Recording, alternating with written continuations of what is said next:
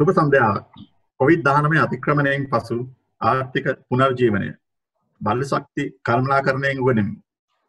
ශ්‍රී ලංකා බලශක්ති කළමනාකරුවන්ගේ සංගමය මගින් සංවිධානය කරනු ලබන පස් පැදෑරීම් සම්බන්ධ මාලාවේ පළමු යන්න ආහාර සැපයුම ප්‍රතිනිර්මාණයට සම්බන්ධනය සඳහා සහභාගී සිටින ඔබ සියලු දෙනා බලශක්ති කළමනාකරුවන්ගේ සංගමය වෙනුවෙන් ඉතා සාදරයෙන් පිළිගනිමි. මෙම පළමු සම්මන්ත්‍රණය සඳහා අද දින බුද්ධිමය දායකත්වය සපයනු ලබන්නේ මහාචාර්ය චමිලා ජයසිංහ මහත්මිය මහාචාර්ය අනෝමා චන්ද්‍රසේකර මහත්මිය දමිත් හෙට්ටියවා මහත්මා නිමල් පෙරේරා මහත්මා අද දින සම්බන්ධනය මෙහෙමුණු ලබන්නේ මහාචාර්ය රහුල් අත්තලගේ මහත්මා විසින්.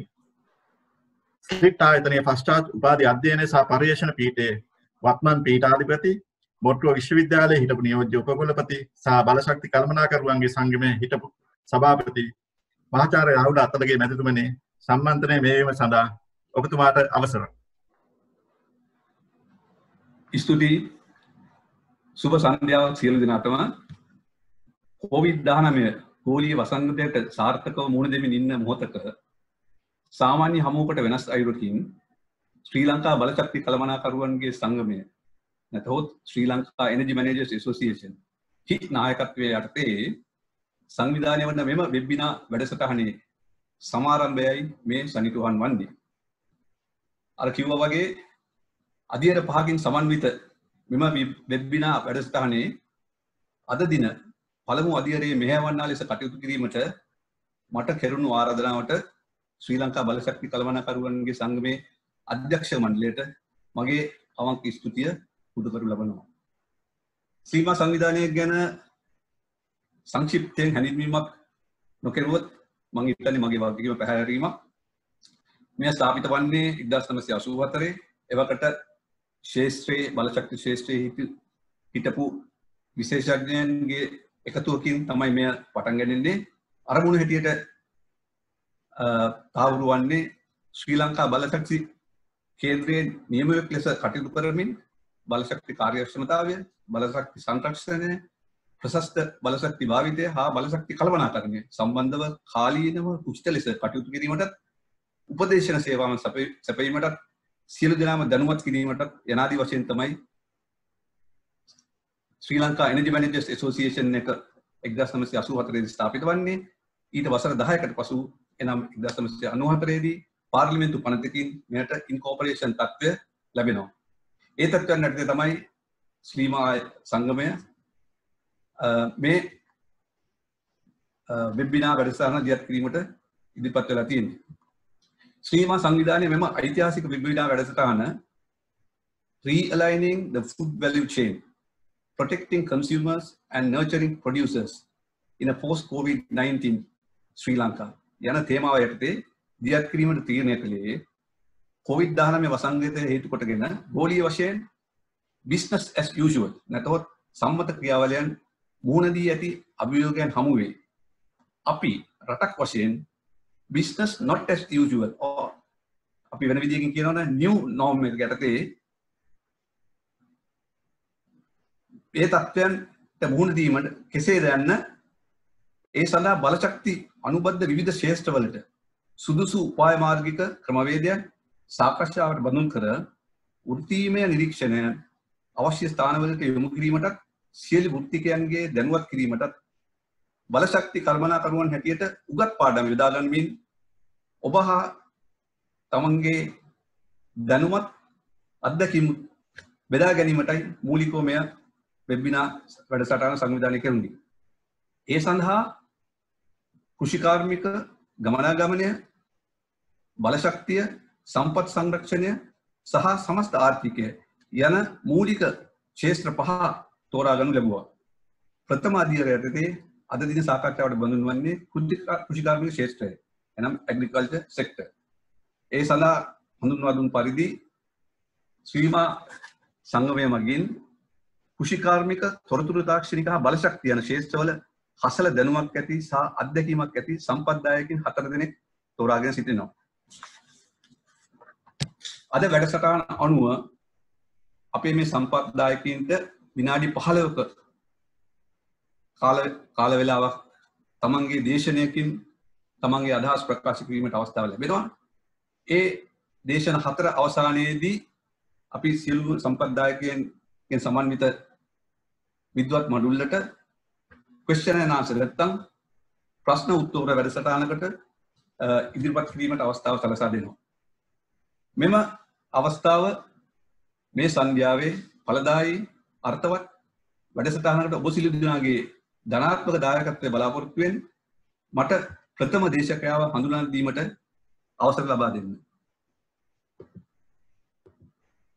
අද දින ප්‍රථම දේශකයා වශයෙන් කටයුතු කරන්නේ මහාචාර්ය චමිලා ජයසිංහ.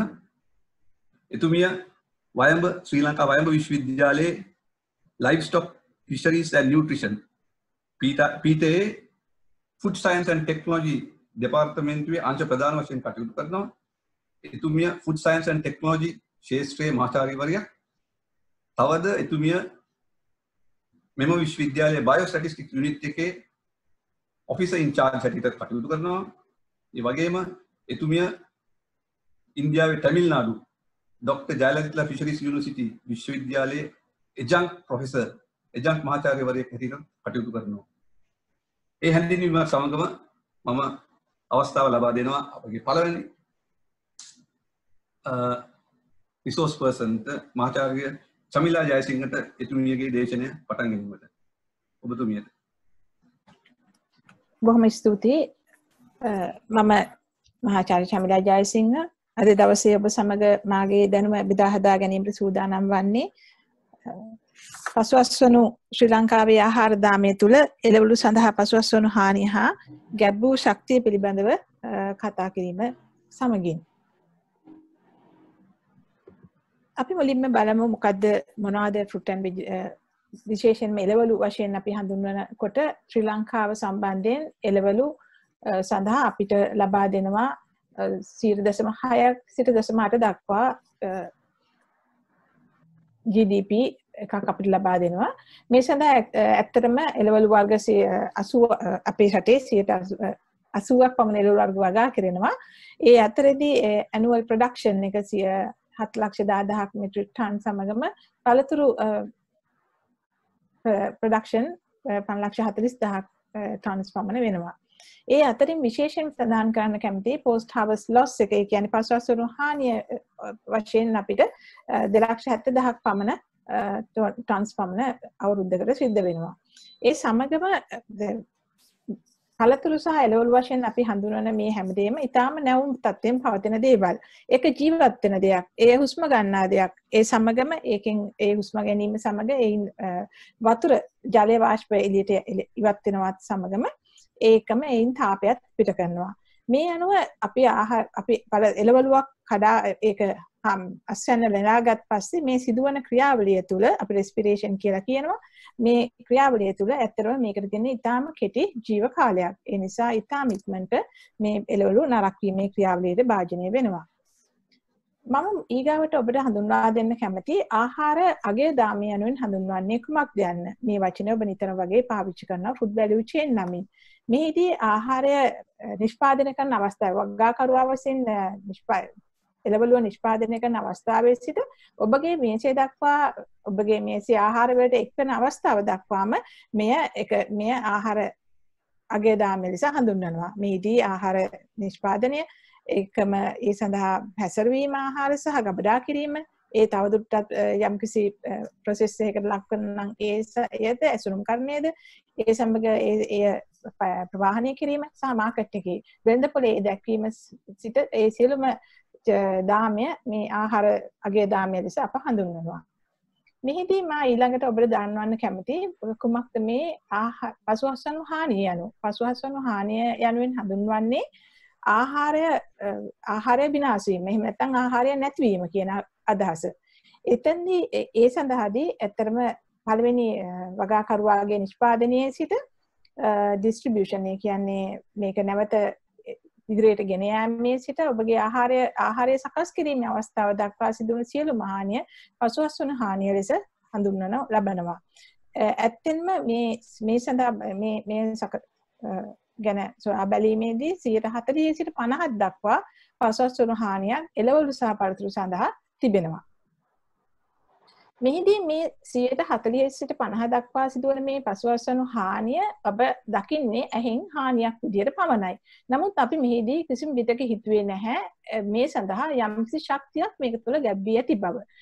මේ ශක්තිය කොයි ආකාරයට ගැබ්බී ඇති ඇත්තේ යන මේ පින්තූරෙන් ඔබට පැහැදිලි වෙනවා. ඇත්තටම අපි මෙහිදී බීජ එළවලු වගා කිරීම සඳහා බීජ ලබා ගැනීමටත් පොහොර යෙදීම, එතකොට කෘෂි රසායන යෙදීම, ඒ සඳහා අපි යම් කිසි ආකාරයක මැෂින්ස් පාවිච්චි කරනවා නම් ෆාම් මැෂිනරිස් ඒ සඳහාද ඒ ඒ සමගම වතුර පොම්ප පොම්ප මගින් වතුර ලබා දීමේ සිට මේ සියලුම කාර්යාවලිය අපි ඒකට ඇතුල් කරන ඒ ඒ ශක්තිය අපි ඒට ඇතුල් කරනවා.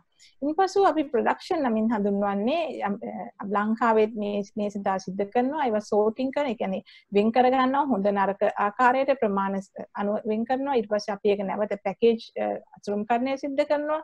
මේ සියලු දේ සඳහා අවසානයේදී යම්කිසි කර්මාන්ශාලාවක් සිදුවන සිදුවන සිදු කරන යම්කිසි ක්‍රියා ප්‍රොසෙසිං එකක්. ඒ කියන්නේ අපි පළතුරක් ගත්තොත් ජෑම් එකක් හදනවා නම් එළවලු එකක් ගත්තොත් ඒක වියලනවා නම් ඒක නැවත ඇසුරුම් කරණය කරනවා සහ ඒ අවශ්‍ය වෙළඳපොළ සඳහා ඉදිරිපත් කිරීම දක්වා මේ සියලුම ආකාරයේදී අපි මේකට ශක්තියක් ගැබ් කරනවා. ඒකේ නොයෙක් අවස්ථාවලදී.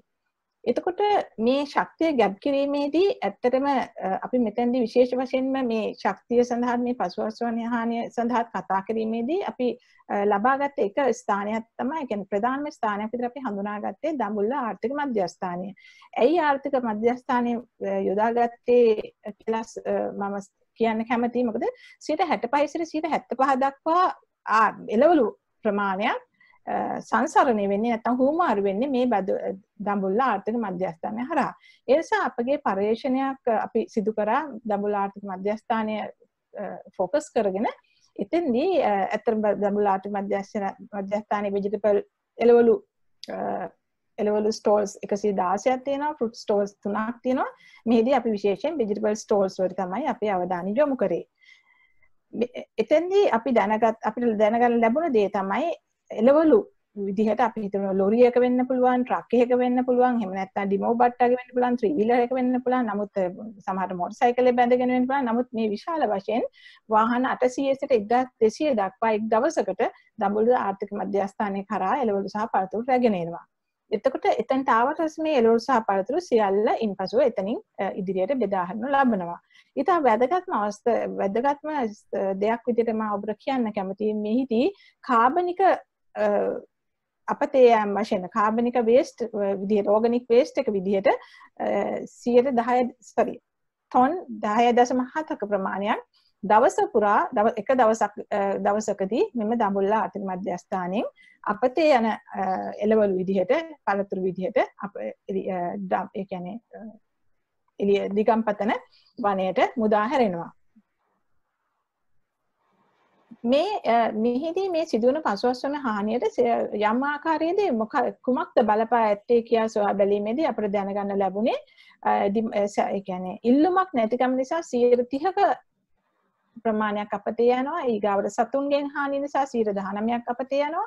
ඊගාවට නොයෙක් ලෙඩ රෝග නිසා 18ක් අපතේ යනවා. සහ මෙකැනිකල් ඩැමේජ් ඒ කියන්නේ පරිහරණය සහ ඒ කියන්නේ හැසිරීමේදී සිදුවන නොයෙක් ආකාරයේ Um, ඩැමේජස් නිසා 16ක් සහ uh, පුව කොලිටි ඒ කියන්නේ මේක ඉද කියන්නේ හරියට පැහෙන් ඉස්සලා කඩලා එහෙම නැත්නම් පැහුනට පස්සේ ගොඩක් පැහුනට පස්සේ කඩලා ඉදිලා වැඩි වෙලා ආදී වශයෙන් වෙන පුව කොලිටි නිසා 15ක් අපිට යන දැන් ඔබට දකින්න පුළුවන් කොයිතරම් ප්‍රමාණයක් නෝ ඩිමාන්ඩ් නිසා 30ක ප්‍රමාණයක් මෙහිදී අහකට uh, ඉවතට ගමන් කරනවා.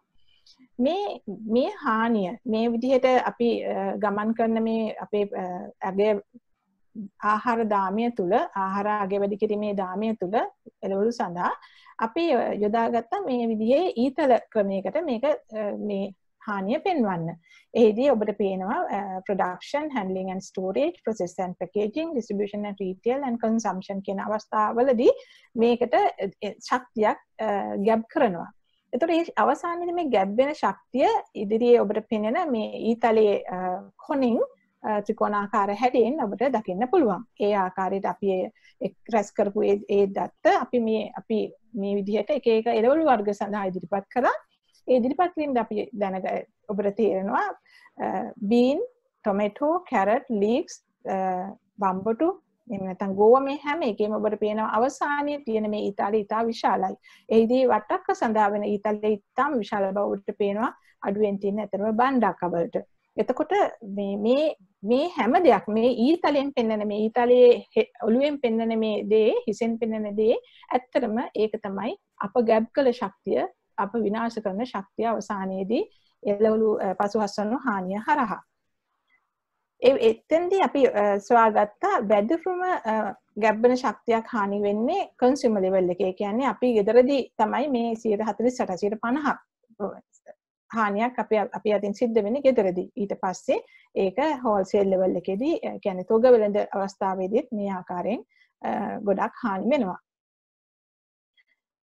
අපි ඊගාවට සොයා බැලුවේ මේ කෙසේද මේ ක්‍රීන මේ හානිය කොයි වගේද අපිට මුදලට ගැන පීන ප්‍රක්ෂණය මැත්තන් සුප්‍රසිදු සුප්‍රසිද්ධ නිෂ්පාදන සංකල්පය අපි මේක ඉදිරිපත් කරල බැලුව කොයි වගේ මුදලක් අපිට මේ සඳහා ඉදිරිපත් කරගන්න පුළුවන් කළ ඒ අනුව නොරොච්චෝලේ සිට පන්නර දම්බුල්ල ඉකනමික් සෙන්ට එක හර පන්න දක්වාත් පන්නල සිට නුවරෙලිය දක්වා දීක්සොලටත් නොරොච්චෝලේ සිට පපායා සරි නොරොච්චෝලේ සිට නුවරෙලිය දක්වා පපායවලට අපි කරපු දත්ත වලින් අපි සොයා ගත්තේ අපි එක එක අවුරුද්ධකට ලීක්ස් ඒ ඒ වැලු චේන් එකේ පමණක් මිලියන් හතරිස් තුන දසම හතරිස් තුනක ප්‍රමාණයක් අපිට ඉතිරි කරන්න පුළුවන්.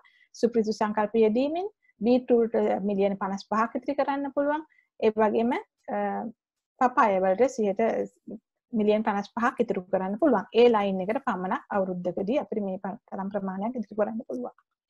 එතකොට මේ මේ සිදුවෙන අවස්ථාවදී අපි මම අපි ඉදිරිපත් කරන අපගේ යෝජනාවන්නේ ඇත්තටම මේදී අපිට පුළුවන්නම් අපේ කරන ප්‍රඩියස් එක. ඒකන අපේ ක්‍රොප් එක. කියන වගාව ප්ලෑන් සැලස්මක් ඇතුව සිදු කරන්න සය නියමිදිර කළමනා කරන්න පුළුවන්න අපිට ඇත්තරම පුළුවන් ලොකු ප්‍රමාණයක් අපිට පසුවස්වන හානිය අවම කරගන්න. මොකද ඩිමාන්් එක නිසා වෙන හානිය සීරතියක් නෝඩිමාන්් නිසා වෙන හානිය සීරතියක් පමණවන නිසා.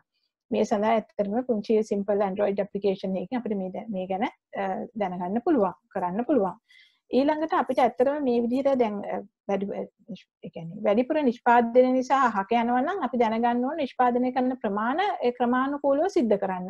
එහෙම සිද්ධ කරන්න ඇත්තනම ඒ සඳහා සෙන්ට්‍රල් එන්ටිටි එකක් යම්කිසි තැනක් තියෙන්න ඕනේ. මේක මේ මේ ක්‍රමවේදය කන්ට්‍රෝල් කරන්න. ඇත්තම ඉන්දියාවේ මේ සඳහා වගාවලට වතුරු බෙදා හැරීමේදී පවා ඒගොල්ලන්ට ඒ විදිහ එකක් මේ බෙදා ගන්නවා. ඒකම අනිත් එක තමයි මාකට් එක. එකන් ලිින් මාකට් එක හරියට ලිංක් වෙනවා නම් මේ සැපයුමේ ප්‍රශ්න එන්නේ නැහැ. ඉල්ලුමකුත් තියෙනවා සැපයුමකුත් තියෙනවා ඒ දෙක ලින්ක් වෙනවා නම් ඒ දෙක සම්බන්ධ වෙනවා නම් ඇත්තටම අපිට මේක තවදුරටත් ඉතුරු කරගන්න පුළුවන්. ඊගාවට අපිට තව දුරටත් අපි යෝජනා ඉදිරිපත් කරනකොට අපිට පේනවා වගාකරුවන්ගේ අධ්‍යාපන මට්ටම ඒගොල්ලෝ වගා කරන්න දන්නවා නමුත් ඒගොල්ලෝ ඊගාවට ඒක හැන්ඩල් කරන විදිහ නැත්නම් ඒක හැසිරීමේ ක්‍රමවේදය හරියට හරියට සිද්ධ කරන්නේ නැහැ. ඒ නිසා ඒක harvesting ඒ කියන්නේ වගාව නෙලීම සහ ඒකම ඒක හැසිරීමේදී ඒගොල්ලන්ව දැනුවත් කිරීම ඊගාවට අවශ්‍ය වෙනවා. ඊළඟට මේ මම මුලින්මත් කිව්වා මේ එළවලු පළතුරු මේ හැමදේම හුස්ම ගන්න දෙයක් ඒකින් තාපය පිට කරනවා. එතකොට මේ තාපය නිසා ඒ උෂ්ණත්වය නිසා එයාලගේ තවත් ක්‍රියාකාරීත්වය වැඩි වෙනවා. ඒක අඩු කරන්න අපිට ඇත්තටම සීතල ජලයෙන් මේක මුලින්ම රින්ස් කරලා ඒ කියන්නේ හොදලා යවනවා නම් ඇත්තටම මේ තාපය අඩු කරලා මේගොල්ලන්ගේ මේ ක්‍රියාකාරීත්වය අඩු කරන්න පුළුවන්. ඒ සඳහා එයින් අපිට පුළුවන් හානිය අරම කරගන්න. ඊළඟට අපිට ඇත්තටම ස්මෝල් ස්කේල් ඩිස්ට්‍රිබියුෂන් වලට කියන්නේ ඒගොල්ලන්ටත් අපිට පුළුවන් මේවා ගබඩා කිරීමේ අවස්ථාවල් හොඳ අවස්ථාවල් ලබා කර ලබා දෙන්න. ඊළඟට ඇත්තටම රීජනල් ස්ටේෂන් ඒ කියන්නේ ලාර්ජ් ස්කේල් රීජනල් ස්ටේෂන්ස් වලට අපිට කෝල් රූම්ස් හඳුන්ලා දෙන්න පුළුවන්. ඒ අනුව පුළුවන් මේකේ නාස්තියවම කරගන්න. මොකද අඩු ටෙම්පරේචර් එකට අඩු උෂ්ණත්වයකදී මේක අපිට හානිය අඩු කරන්න පුළුවන්. ඊළඟට අපිට ඒකම ඒ වගා කරන ස්ථානයේ ඒ අවටම අපිට පුළුවන් නම් කර්මන්ශාලා ඇති කරන්න. මේක ඩ්‍රයි වේලන්න. එහෙම නැත්නම් වැලියු ඇඩ් කරලා ඒක බෝතල් කරන්න. එහෙම නැත්නම් වෙන ආකාරයක මේක සුසු ආකාරයට පැක් කරන්න. ඒතරම් කරන්න පුළුවන් නම් ඇත්තටම අපි ලොකු හානියක් අවම කරගන්න පුළුවන්. දඹුලට ඇවිල්ලා හරි එහෙම වෙන තැන් වලට යනවට වැඩිය කෙලින්ම අපිට මාකට් එකට ඉදිරිපත් කරන්න පුළුවන්. ඊගාවට අපි මිකැනිකල් ඒ කියන්නේ අපේ ඩැමේජ් එක මිකැනිකල් හානිය අඩු කරගන්න එකත් අපි සලකා බලන්න ඕනේ. ඒ සඳහා අපේ ට්‍රන්ස්පෝර්ට් කරන අයවසා හැන්ලිින් හැසනුන කට්ටිව දැනුවත් කිරීම අවශ්‍ය වෙනවා ඊළඟට තමයි විශේෂයෙන්ම දැන් වට්ටක්කා එක ලොකු හානියක් සිද්ධ වෙනවා ඔබ දැක්කා. ඒ වට්ටක්කා හානිය අදරත් ඔබට නිවුස් බලද්දිත් ඒක දැනගන්න පුළුවන්. මේ හානිය වට්ටක්කා වලින් අපිට පෙක්ටින් පෙක්ටින් කියන්නේ අපේ ආහාර නිෂ්පාදනය සඳහා ඉතාම වශයෙන් අවශ්‍ය කරන ද්‍රව්‍යයක්. මේ පෙක්ටින් යොදා එක්ස්ට්‍රැක් කරන. එක ලබා ගැනීමට වට්ටක්ක අපිට ප්‍රධාන වශයෙන් උපයෝග කරන වට්ටක්ක විතරක් නෙමෙයි. අර අහක යන හුඟක්ම එළවලු පළතුරු එළවලු පළතුරු වලින් අපිට පෙක්ටින් එක්ස්ට්‍රැක්ට් කරගන්න පුළුවන්. ඒක දැන් අපි ලංකාවට ගෙන්නනවා. අපිට ඒක මෙහි ඒක කරන්න පුළුවන් නම් අපිට පුළුවන් ලොකු මේ හානිය එහෙනම් ඉවතට ඉවතලන දේ ප්‍රයෝජනවත් යොදා ගැනීමට. ඊළඟට තවත් දෙයක් තමයි විශේෂයෙන් මම සඳහන් කරා. අඩු උෂ්ණත්වයට අපිට පුළුවන් නම් මේක ට්‍රන්ස්පෝර්ට් කරන්නේ අවශ්‍ය ස්ථානවලට අපිට පුළුවන් තවත් තවදුරටත් හානිය අවම කරගන්න. මොකද රෙස්පිරේෂන් නිසා වෙන හානිය අවම කරගන්න අපිට මේ සඳහා යොදා ගන්න පුළුවන්. දැන්ට ලංකාවෙන් එළියට යවන ඒ කියන්නේ එක්ස්පෝර්ට් මාකට් එකට ඉදිරිපත් කරන සියලුම වගේ එළවලු වර්ග ලංකාවෙන් යවනවා. ඒ හැම දෙයක්ම අපි නියම ආකාරයේ අසුරලා ඒ වගේම අඩු උෂ්ණත්වය තුල තමයි ගමන් කරවන්නේ. ගෙනියන්නේ. එතකොට ඒවා හොඳ තත්ත්වයෙන් හෙට යනවා.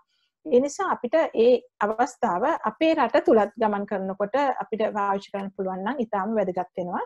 ඒ අනුව අපිට පුළුවන් මේ ජීව කාලය ආයු කාලය මේ පළතුරු වල එළවලු වල වැඩි කරගන්න. එතකොට අපිට හානිය අවම කරගන්න පුළුවන් සහ නියම අවස්ථ නියම ස්ථානයට මේ සඳහා යනවා. දැන්ට ඇත්තටම කාගිල් සහ තවත් ආයතන කීපයක් මේ ක්‍රමවේදය යොදා ගන්නවා. ඒ නිසා ඔබට එම එම ආයතන වලින් ලබා ගන්නා එළවලු වල හොඳ තත්ත්වයක් දකින්න පුළුවන් වෙන්නේ. ඊගාවට ඇත්තරම දැන් ට්‍රන්ස්පෝර්ට් ඒ කියන්නේ අපි මේක ගෙනියන අවස්ථාවේදී අපිට පුළුවන් පේන්න අඩු උෂ්ණත්වය හැමතිස්සෙම තබා ගැනීම අත්‍යවශ්‍ය වෙනවා.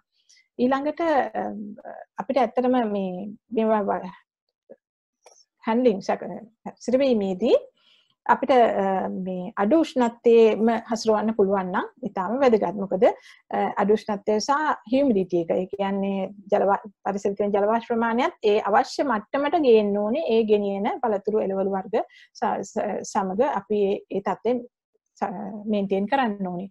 එතකොට අපිට පුළුවන් වෙනවා තව දුරටත් මේ හානිය අවම කරගන්න. ඉතින් ඊට අමතරව තමයි මොඩිෆයිඩ් ඇඩමිනිස්ට්‍රේටිව් පැකේජින් කියන්නේ ඒ ඒ අවස්ථාවට ඒ එළවලු වලට අවශ්‍ය ආකාරයට අපිට මේ පැකේජ් එක ඇසුරුම සකස් කරන්න පුළුවන් නම් ඒක කරන්න ඕනේ වගාකරුවාගේ ස්ථානයේදීම සිදු කරලා අපිට නියම විදිහට වෙළඳපොළ ඉදිරිපත් කරන්න පුළුවන් නම් තවදුරටත් මේක මේ ක්‍රම මේ හානි අපිට අවම කරගන්න පුළුවන්. ඊළඟට අපි ට්‍රන්ස්පෝර්ට් කරද්දි වෙන ෆිසිකල් ඉන්ජරීස් uh, ඒ කියන්නේ වයිබ්‍රේෂන් එක නිසා වෙන්න පුළුවන් තෙරපීම නිසා වෙන්න පුළුවන් ඒ වගේ දේවල් අවම කර ගැනීමට විශේෂයෙන් මේක හැසිරීමේදී අපි විශේෂ අවධානයක් යොමු කරන්න ඕනේ. අපි කරපු මේ කෝල් චේන් එක්ස්පෙරිමන්ට් එකේදී අපි uh, දැක් අපි කරා ඇතම ලීක්ස් කැබේජ් බ්‍රින්ජල් ටොමේටෝ කැරට්ස් මේ ටික නුවරඑළියේ සිට uh, පන්නල හෝල්සේල් සෙන්ටර් එකකට අරන් එනකොට මොන වගේ තත්ත්වයක්ද කියන එක අපි බැලුවා. එතෙන්දී අපිට පැහැදිලි වුණේ මෙකැනිකල් ඩැමේජ් එක ප්‍රධාන වශයෙන් බලපාන්නේ කැබේජ් සෝරි ගෝවා වම්බටු සහ කැරට් වලට. ඊළඟට ෆිසියොලොජිකල් ඩැමේජ් එක ඒ කියන්නේ එන පරිසරයෙන් එන හානිය නැවත බලපානවා ගෝවා වම්බටු කැරට්ස් ලීක් සහ තක්කලි වලට සහ විෂුවල් ක්වොලිටි රේටින් එකේදී අපි තක්කලි සොරි කැබේජ් බ්‍රින්ජෝල් කැරට්ටන් ලීක්ස් මේ ටික තමයි අපි බැලුවේ. එතකොට මේ ඩැමේජ් එක නිසා අපිට ඊටාම ඉක්මනටම දකින්න පුළුවන් මේ මේ දක්වන පළතුරු සොරි එළවලු වල හානියක් ඕදී හානියක් සිද්ධ වෙන බව. ඒ නිසා හැමතිස්සෙම අපි කල්පනා කරද්දී මේ දැන් උෂ්ණත්වය වුණත් අඩු කරද්දී මේක ඩිස්ටන්ස් ලොකු ඩිස්ටන්ස් එකකට යනකොට ඒක ඇත්තටම ප්‍රශ්නයක් බවට පත් වෙනවා වුණා වුණත් ඇත්තටම අපිට ඒක අඩු කිරීම සඳහා අපිට ෆ්‍රෙෂ් ඒ කියන්නේ නැවුම් පළ එළවලු අපිට අපගේ කියන්නේ ළඟම තියෙන වෙනසල්ට ගෙන්න ගන්න පුළුවන්. එහෙම නැත්නම් ඒකම විශේෂයෙන් මෙහිදී අවධානය යොමු කරන්න ඕනේ උෂ්ණත්වය අඩු කිරීම සමගම අපි කොයි ආකාරයකද මේක පැක් කරන්න කියලා නැත්නම් ලෝඩ් කරන්න කියලා වාහනයේද ඒ ට්‍රාන්ස්පෝර්ට් කරන ඒකෙන්දී ඇත්තටම මේ එළවලු පළතුරු වලට හොඳට එයා සර්කියුලේෂන් එකක් තියෙන්න ඕනේ. එතකොට තමයි ඒගොල්ලන් හොඳ නැවුම තියෙන්නේ. ඒක නිසා මේදී ඒකම මේ විදිහට කරපුවාම මෙකැනිකල් ඩැමේජ් එකත් අඩු කරගන්න පුළුවන්. ඒකම ප්‍රොඩියුස් එක ඉතා හොඳට ගේනකොට ඒකට හොඳ ඩිමාන්ඩ් එකකුත් තියෙනවා. ඒ නිසා අපි හැමතිස්සෙම ඒ අවශ්‍ය දැන් ඒ කියන්නේ දැන් අපි ට්‍රාන්ස්පෝර්ට් කරද්දී අපිට හුඟක් එළවලු පළතුරු වර්ග එකට දාගෙන එන්න බෑ. ඒ කියන්නේ එක එක අවස්ථාවට සුසු ටෙම්පරේචර් එක අපි මේන්ටේන් කරගන්න ඕනේ. ඒ නිසා ඒක අඩු කරගන්න ඕනේ. එතෙන්දී ඒක නිසා ප්ලාස්ටික් රේටර්ස් භාවිතා කිරීම ඉතාම වැදගත් වෙනවා. ඒ ඒ අනුව අපිට සිද්ධ මම මගේ පණිවිඩය වෙන්නේ ඇත්තටම මේ කොවිඩ් 19න් පස්සේ අපි ඉගෙනතු පාඩම දැන් අපිට ක්වික්ලි දෙයක්ට වෙනස් වෙන්න පුළුවන්. අද අපි හුඟක් දේවල් වලට වෙනස් වෙලා ඉන්නවා. ඒ හින්දා මේ අනුව සප්ලයි චේන් එක අපිට ඉක්මනටම වෙනස් කරගන්න ඕන නිසා වෙනස් කළ යුතුයි කියන එක මම විශ්වාස කරනවා.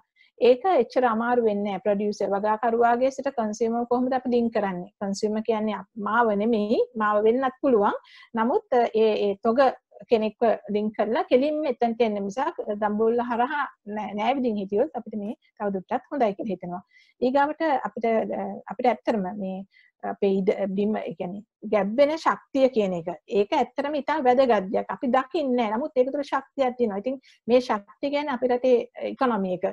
එතකොට ඒක අපිට හානි වෙන්න දෙනවයි කියන එක අපි දෙපැත්තකින් එකක් තමයි අපිට එන්නේ නැහැ හරියට එළවලු පළතුරු ටික කන්සියුමර් ලැබෙන්නේ නැහැ දෙවෙනි එක තමයි අපි ශක්තියකුත් හානි කරලා තියෙන නිසා ඒක ඇත්තටම ලොකු ඩැමේජ් එකක් විදියට මම දකිනවා ඒ සඳහා අපි ඇත්තටම ඒක අඩු කරන්න පියවර ගන්න ඕනේ මේ සඳහා ඇත්තටම අපි හුඟක් දේවල් දැනගන්න ඕනේ ඒකම අපි ඒ ක්වික්ලි එකට වැඩ කරන්න ඉක්මනට වැඩ කරන්න ඕනේ ඒ හින්දා ඒ සඳහා අපිට ඇත්තටම එහෙම කරෝතින් අපිට අපිට පුළුවන් වෙනවා ප්‍රඩියසර්ට වගාකරුවට හොඳ මිලක් ලබා දෙන්න අපට හොඳ හොඳ අඩු ප්‍රයිස්තයකට හොඳ එළවලු ලබා ගන්න.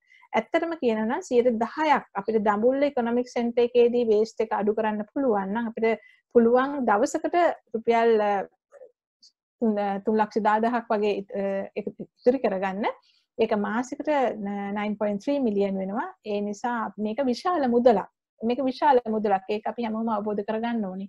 ඒ නිසා මේ වැලියු චේන් එක හරි විදිහට සකසලා ඒක හරි විදිහට පරිහරණය කළා ඒකෙන් හැමදෙනාටම ඉතා හොඳ දෙයක් ලබා දීම අත්‍යවශ්‍යයි කියලා මම විශ්වාස කරනවා. බොහොම ස්තුතියි.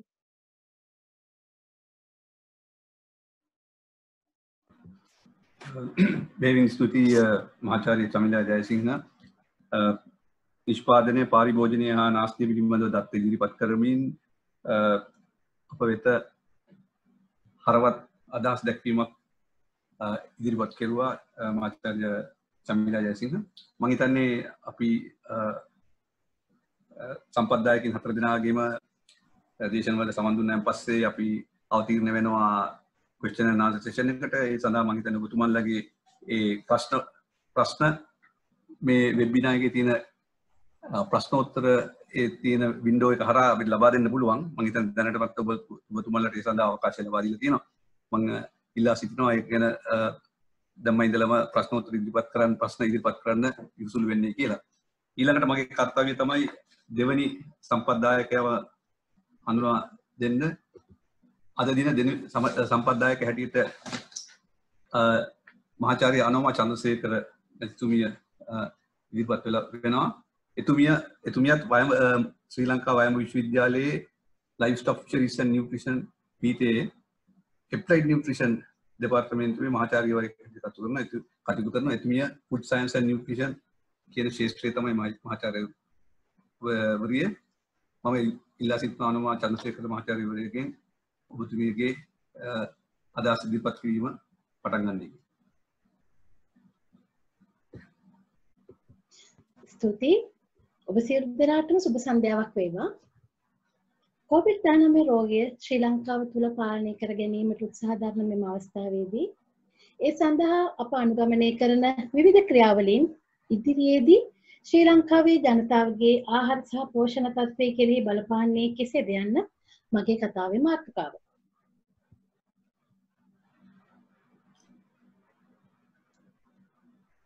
පහත අරමුණු ඔස්සේ කතා කිරීමට මම බලාපොරොත්තු වෙනවා. දැනට පවතින පෝෂණ ගැටලු රාමුව ඒවට හේතු විසඳුම් සෙවීම සඳහා ආහාර පද්ධති රාමුව ක්‍රියාත්මක වන ආකාරය සහ එහිදී අප මුහුණ දෙන අභියෝග COVID-19 තත්ත්වය සමග ආහාර පද්ධති තුල සිදුවන වෙනස් වීම සහ අපගේ ඉදිරි පියවර සඳහා යෝජනා මොනවාද කියන එක.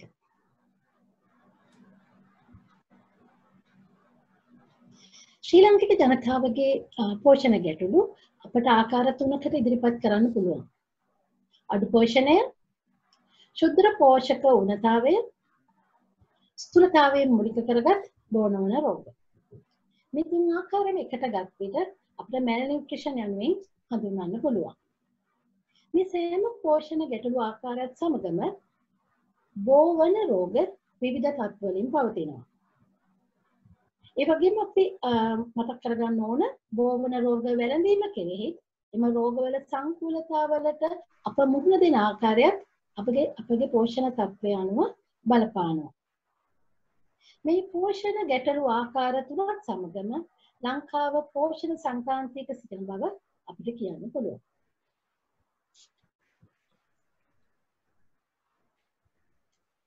විවිධ පෝෂණ ගැටලු සඳහා හේතු පැහැදිලි කිරීමට යුනිසෙක් සංවිධානයේ මෙම සංකල්පීය රාමුව අපි භාවිතා කරනවා.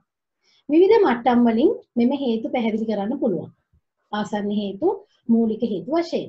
ආසන්න හේතු ගත්තොත් ඔබට මෙහිදී පේනවා ආහාර පරිභෝජනය සෞඛ්‍ය තත්ත්වය ප්‍රධාන කරුණු දෙකක් විදිහට පෙන්වු කරනවා.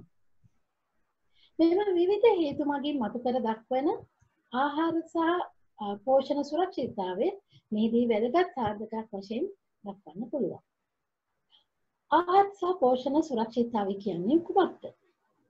සියලු දෙනාටම සෑම කාලයේදීම ප්‍රමාණවත් තරම් ආහාර සුලභ වීම, තම පරිසරය තුළදී ලබා ගැනීමට හැකිවීම, ඒ වගේම ඒවා සපයා ගැනීමට හැකිවීම, එම ආහාර ප්‍රමාණාත්මකව සහ ගුණාත්මක ලෙස පෝෂණ අවශ්‍යතා පිරිමසා ගැනීම සඳහා පාරිභෝජනය කිරීමට හැකිවීම ප්‍රමාණවත් ලෙස රැකවරණය සනිපාරක්ෂක සහ සෞඛ්‍ය සේවා ලැබීම නිවැරදි පෝෂණ පිළිවෙත අනුගමනය කිරීමට හැකිවීම යනාදී මේ සියලුම කරුණු මෙහිදී අපි සැලකිල්ලට ගන්නවා.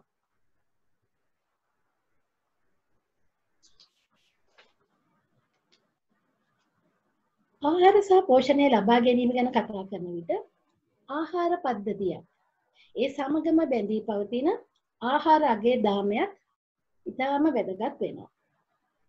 දැන් ඔබ සියලු දෙනාම දන්නවා ආහාර අගේ දාමයක් කියන්නේ මොකක්ද කියලා. අපි ආහාර පද්ධතිය ගැන සැලකුවාම ආහාර පද්ධතියක ප්‍රධාන කාර්යයන් හතරක් සිද්ධ වෙනවා. ආහාර නිෂ්පාදනය, ආහාර ගබඩා කිරීම, කල්තබා ගැනීම සහ සකස් කිරීම, ආහාර වෙළඳාම සහ අලෙවිකරණය ආහාර කෙරේ පාරිභෝගික ඉල්ලුම රුචිකත්වය වගේ කරුණු. ඊට අමතරව මේ සියලුම කාර්යයන් වලට බලපාන කරුණු කීපයකුත් තියෙනවා. ඒවා අතර මිල සහ වෙළඳ ප්‍රතිපත්ති, මිල පාලන සහ බදු නීති රීති, ආහාර ආරක්ෂණ පිළිවෙත් වගේ කරුණු වැදගත් වෙනවා. ඔබට මෙහිදී ඉතා පැහැදිලිවම පේනවා ආහාර අගේ දාමේ ප්‍රධාන අංගයන් වෙන නිෂ්පාදනය සැකසීම බෙදා හැරීම සහ පරිභෝජනය ආහාර පද්ධතියත් සමග ඉතාම හොඳින් ගැලපෙන බව.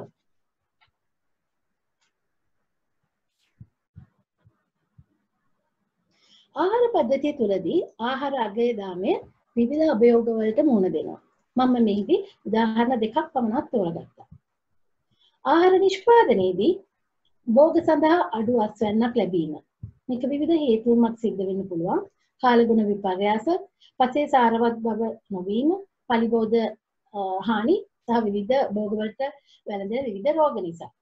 ඒ වගේම අඩු නිෂ්පාදන දාර්ථ්‍යවයක් පැවතීම, අඩු අස්වැන්නක් දෙන බීජ පාවිච්චි කිරීම වගේ දේවල් නිසා ඒක සිද්ධ වෙන්න පුළුවන්. ඊට අමතරව සත්ව මූලික ආහාර සඳහා තිරචාර නිෂ්පාදනයක් නොමැතිවීම. අපිට ආහාර නිෂ්පාදනයේදී මුහුණ දෙන අභියෝග වශයෙන් දක්වන්න පුළුවන්. සමහරක් අභියෝග වශයෙන් දක්වන්න පුළුවන්. දෙවනුව ආහාර ගබඩා කිරීම, සැකසීම සහ හැසිරවීමේදී මුහුණ දෙන අභියෝග අතර එළවලු පළතුරු විශාල ලෙස පසු අස්වනු හානියකට ලක්වීම අපිට දක්වන්න පුළුවන්. ඇතනම් ප්‍රථම කතාවේදී ඒ පිළිබඳ හුඟක් විස්තර කළා. ඊළඟට කිරි මස් බිත්තර මාළු වගේ සත්ව මූලික ආහාර පදනම් කරගත් නිෂ්පාදන රට තුළ අවශ්‍ය පමණට නිෂ්පාදනය නොවීම.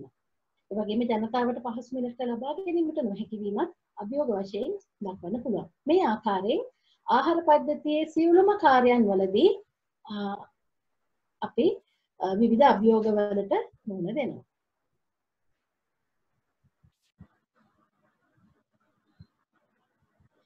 මේ වගේ අභියෝග ජනතාවගේ ආහාර පරිභෝජනයට බලපාන්නේ කොහොමද? එක උදාහරණයක් වන්නේ ලෝක සෞඛ්‍ය සංවිධානයේ දෛනික නිර්දේශිත එළවලු පළතුරු පරිභෝජනය ග්‍රෑම් 400ක්. ලංකාවේ දෛනික එළවලු පළතුරු සුලභතාවය ග්‍රෑම් 466ක් වෙනවා. ඒ කියන්නේ නිර්දේශිත ප්‍රමාණයට වඩා 16ක් පවතිනවා. නමුත් පරිභෝජන අගය වෙන්නේ ග්‍රෑම් 172ක් පමණයි. ඒ කියන්නේ නිර්දේශිත ප්‍රමාණයෙන් 143ක් පමණයි. අපගේ ජනතාව නිර්දේශිත එළවලු පළතුරු ප්‍රමාණය නොගන්නේ ඇයි? ඒගොල්ලන්ගේ පිළිතුරු වෙන්නේ මිල වැඩි නැත්නම් පළතුරු එළවලු වල සෞඛ්‍ය ආරක්ෂිත පිළිබඳව ගැටලු තියෙනවා කියන එක.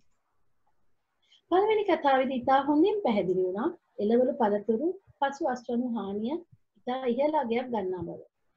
ඒක නිසා පාරිභෝගිකයාට ඉහළ මලක් ගෙවීමට සිදු වෙන බව ඉතාම හොඳින් පැහැදිලි.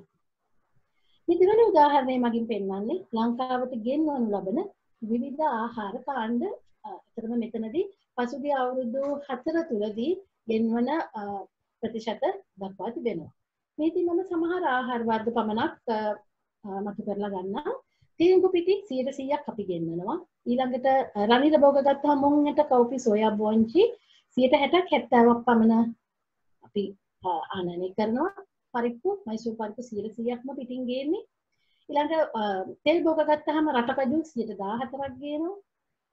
අල භෝග ගත්තාම අත්පල් 161ක් 67ක් පමණ ගෙන්වනු ලබනවා. බීලෝණු 167ත් 89 වගේ ප්‍රතිශතයක් ලංකාවට ගෙන්නනවා. මේ භෝගවලින් තිරිංගුයි පරිප්පුයි හැර අනිත් සෑම භෝගයක්ම ලංකාව තුළ වගා කරන්න හැකියාව තිබෙනවා. මේ විදිහට අපි ආනයනය කරනකොට මිල ගණන් වෙනස් වෙනවා අවුරුද්ද පුරාම ඒක ජනතාවගේ පාරිභෝජනය කෙරේ ඍජුවම බලපානවා.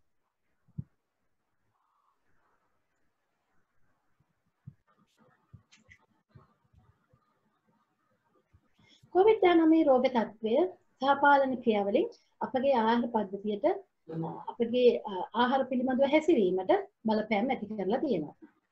උදාහරණයක් විදිහට වෙනද සැල්වල ආහාර රාක්ක හිස් වී තිබෙන බව අපි දැකලා තියෙනවා. ඒ වගේම ආහාර භෝජන ශාලා හිස් වෙලා තියෙනවා.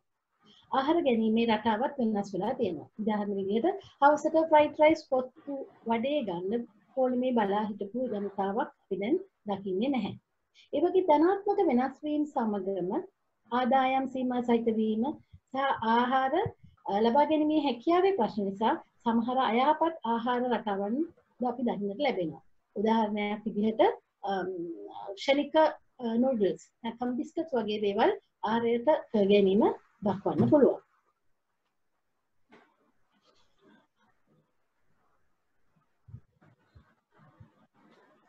සෑම දිනකටම පෝෂණ සුරක්ෂිතතාවය ඇති කිරීමට අපගේ ඉදිරි පියවර පියවර යුත්තේ කුමක්ද?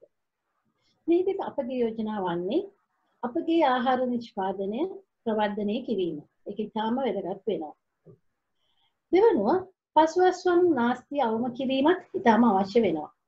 ගබඩා කිරීමේදී, සකස් කිරීමේදී සහ කල් තබා ගැනීමේදී සහ ආහාර හැසිරවීමේදී අපි නව ක්‍රම භාවිතා කරලා පසු අස්වනු නාස්තිය අවම කර ගැනීම ඉතාම වැදගත් වෙනවා. තුන්වෙනුව පාරිභෝගික රුචිකත්වයට ගැලපෙන ආකාරයට කෘෂි නිෂ්පාදන වැඩි දියුණු කිරීම අවශ්‍ය වෙනවා. මෙතනදී ආහාර ආරක්ෂණය, ඇසුරුම් කරණය, පෝෂක වෙන ආහාර ලේබල් කිරීම, ආහාර බෙදා හැරීම වැඩි දියුණු කිරීම, ඒ වගේම විවිධාංගීකරණය වූ ආහාර පරිභෝජනය ප්‍රවර්ධනය කිරීම ඉතාම වැදගත්. එසේම ආහාර සහ පෝෂණය පිළිබඳව පාරිභෝගිකයාගේ දැනුම ආකල්ප සහ හැසිරීම ධනාත්මකව වෙනස් කිරීමත් ඉතාම වැදගත් වෙනවා.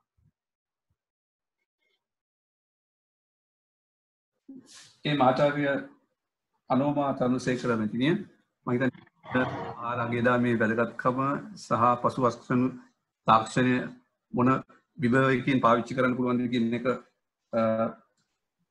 හේතු කොටගෙන තමයි එතුමියගේ අදහස් ඉදිරිපත් කිරීම කළේ. ඒත් අපේ බිමින් ස්තුතිය. මං හිතන්නේ නැවත වරක් මම මතක් කිරීමක් කරනවා.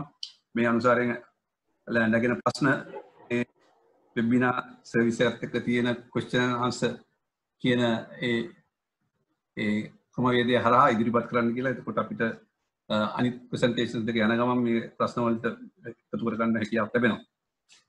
ඊළඟට මගේ කර්තව්‍ය වන්නේ තුන්වෙනි සම්පත්දායකයා ඉදිරිපත් කිරීමට වෙනස් ශ්‍රේෂ්ඨයකින්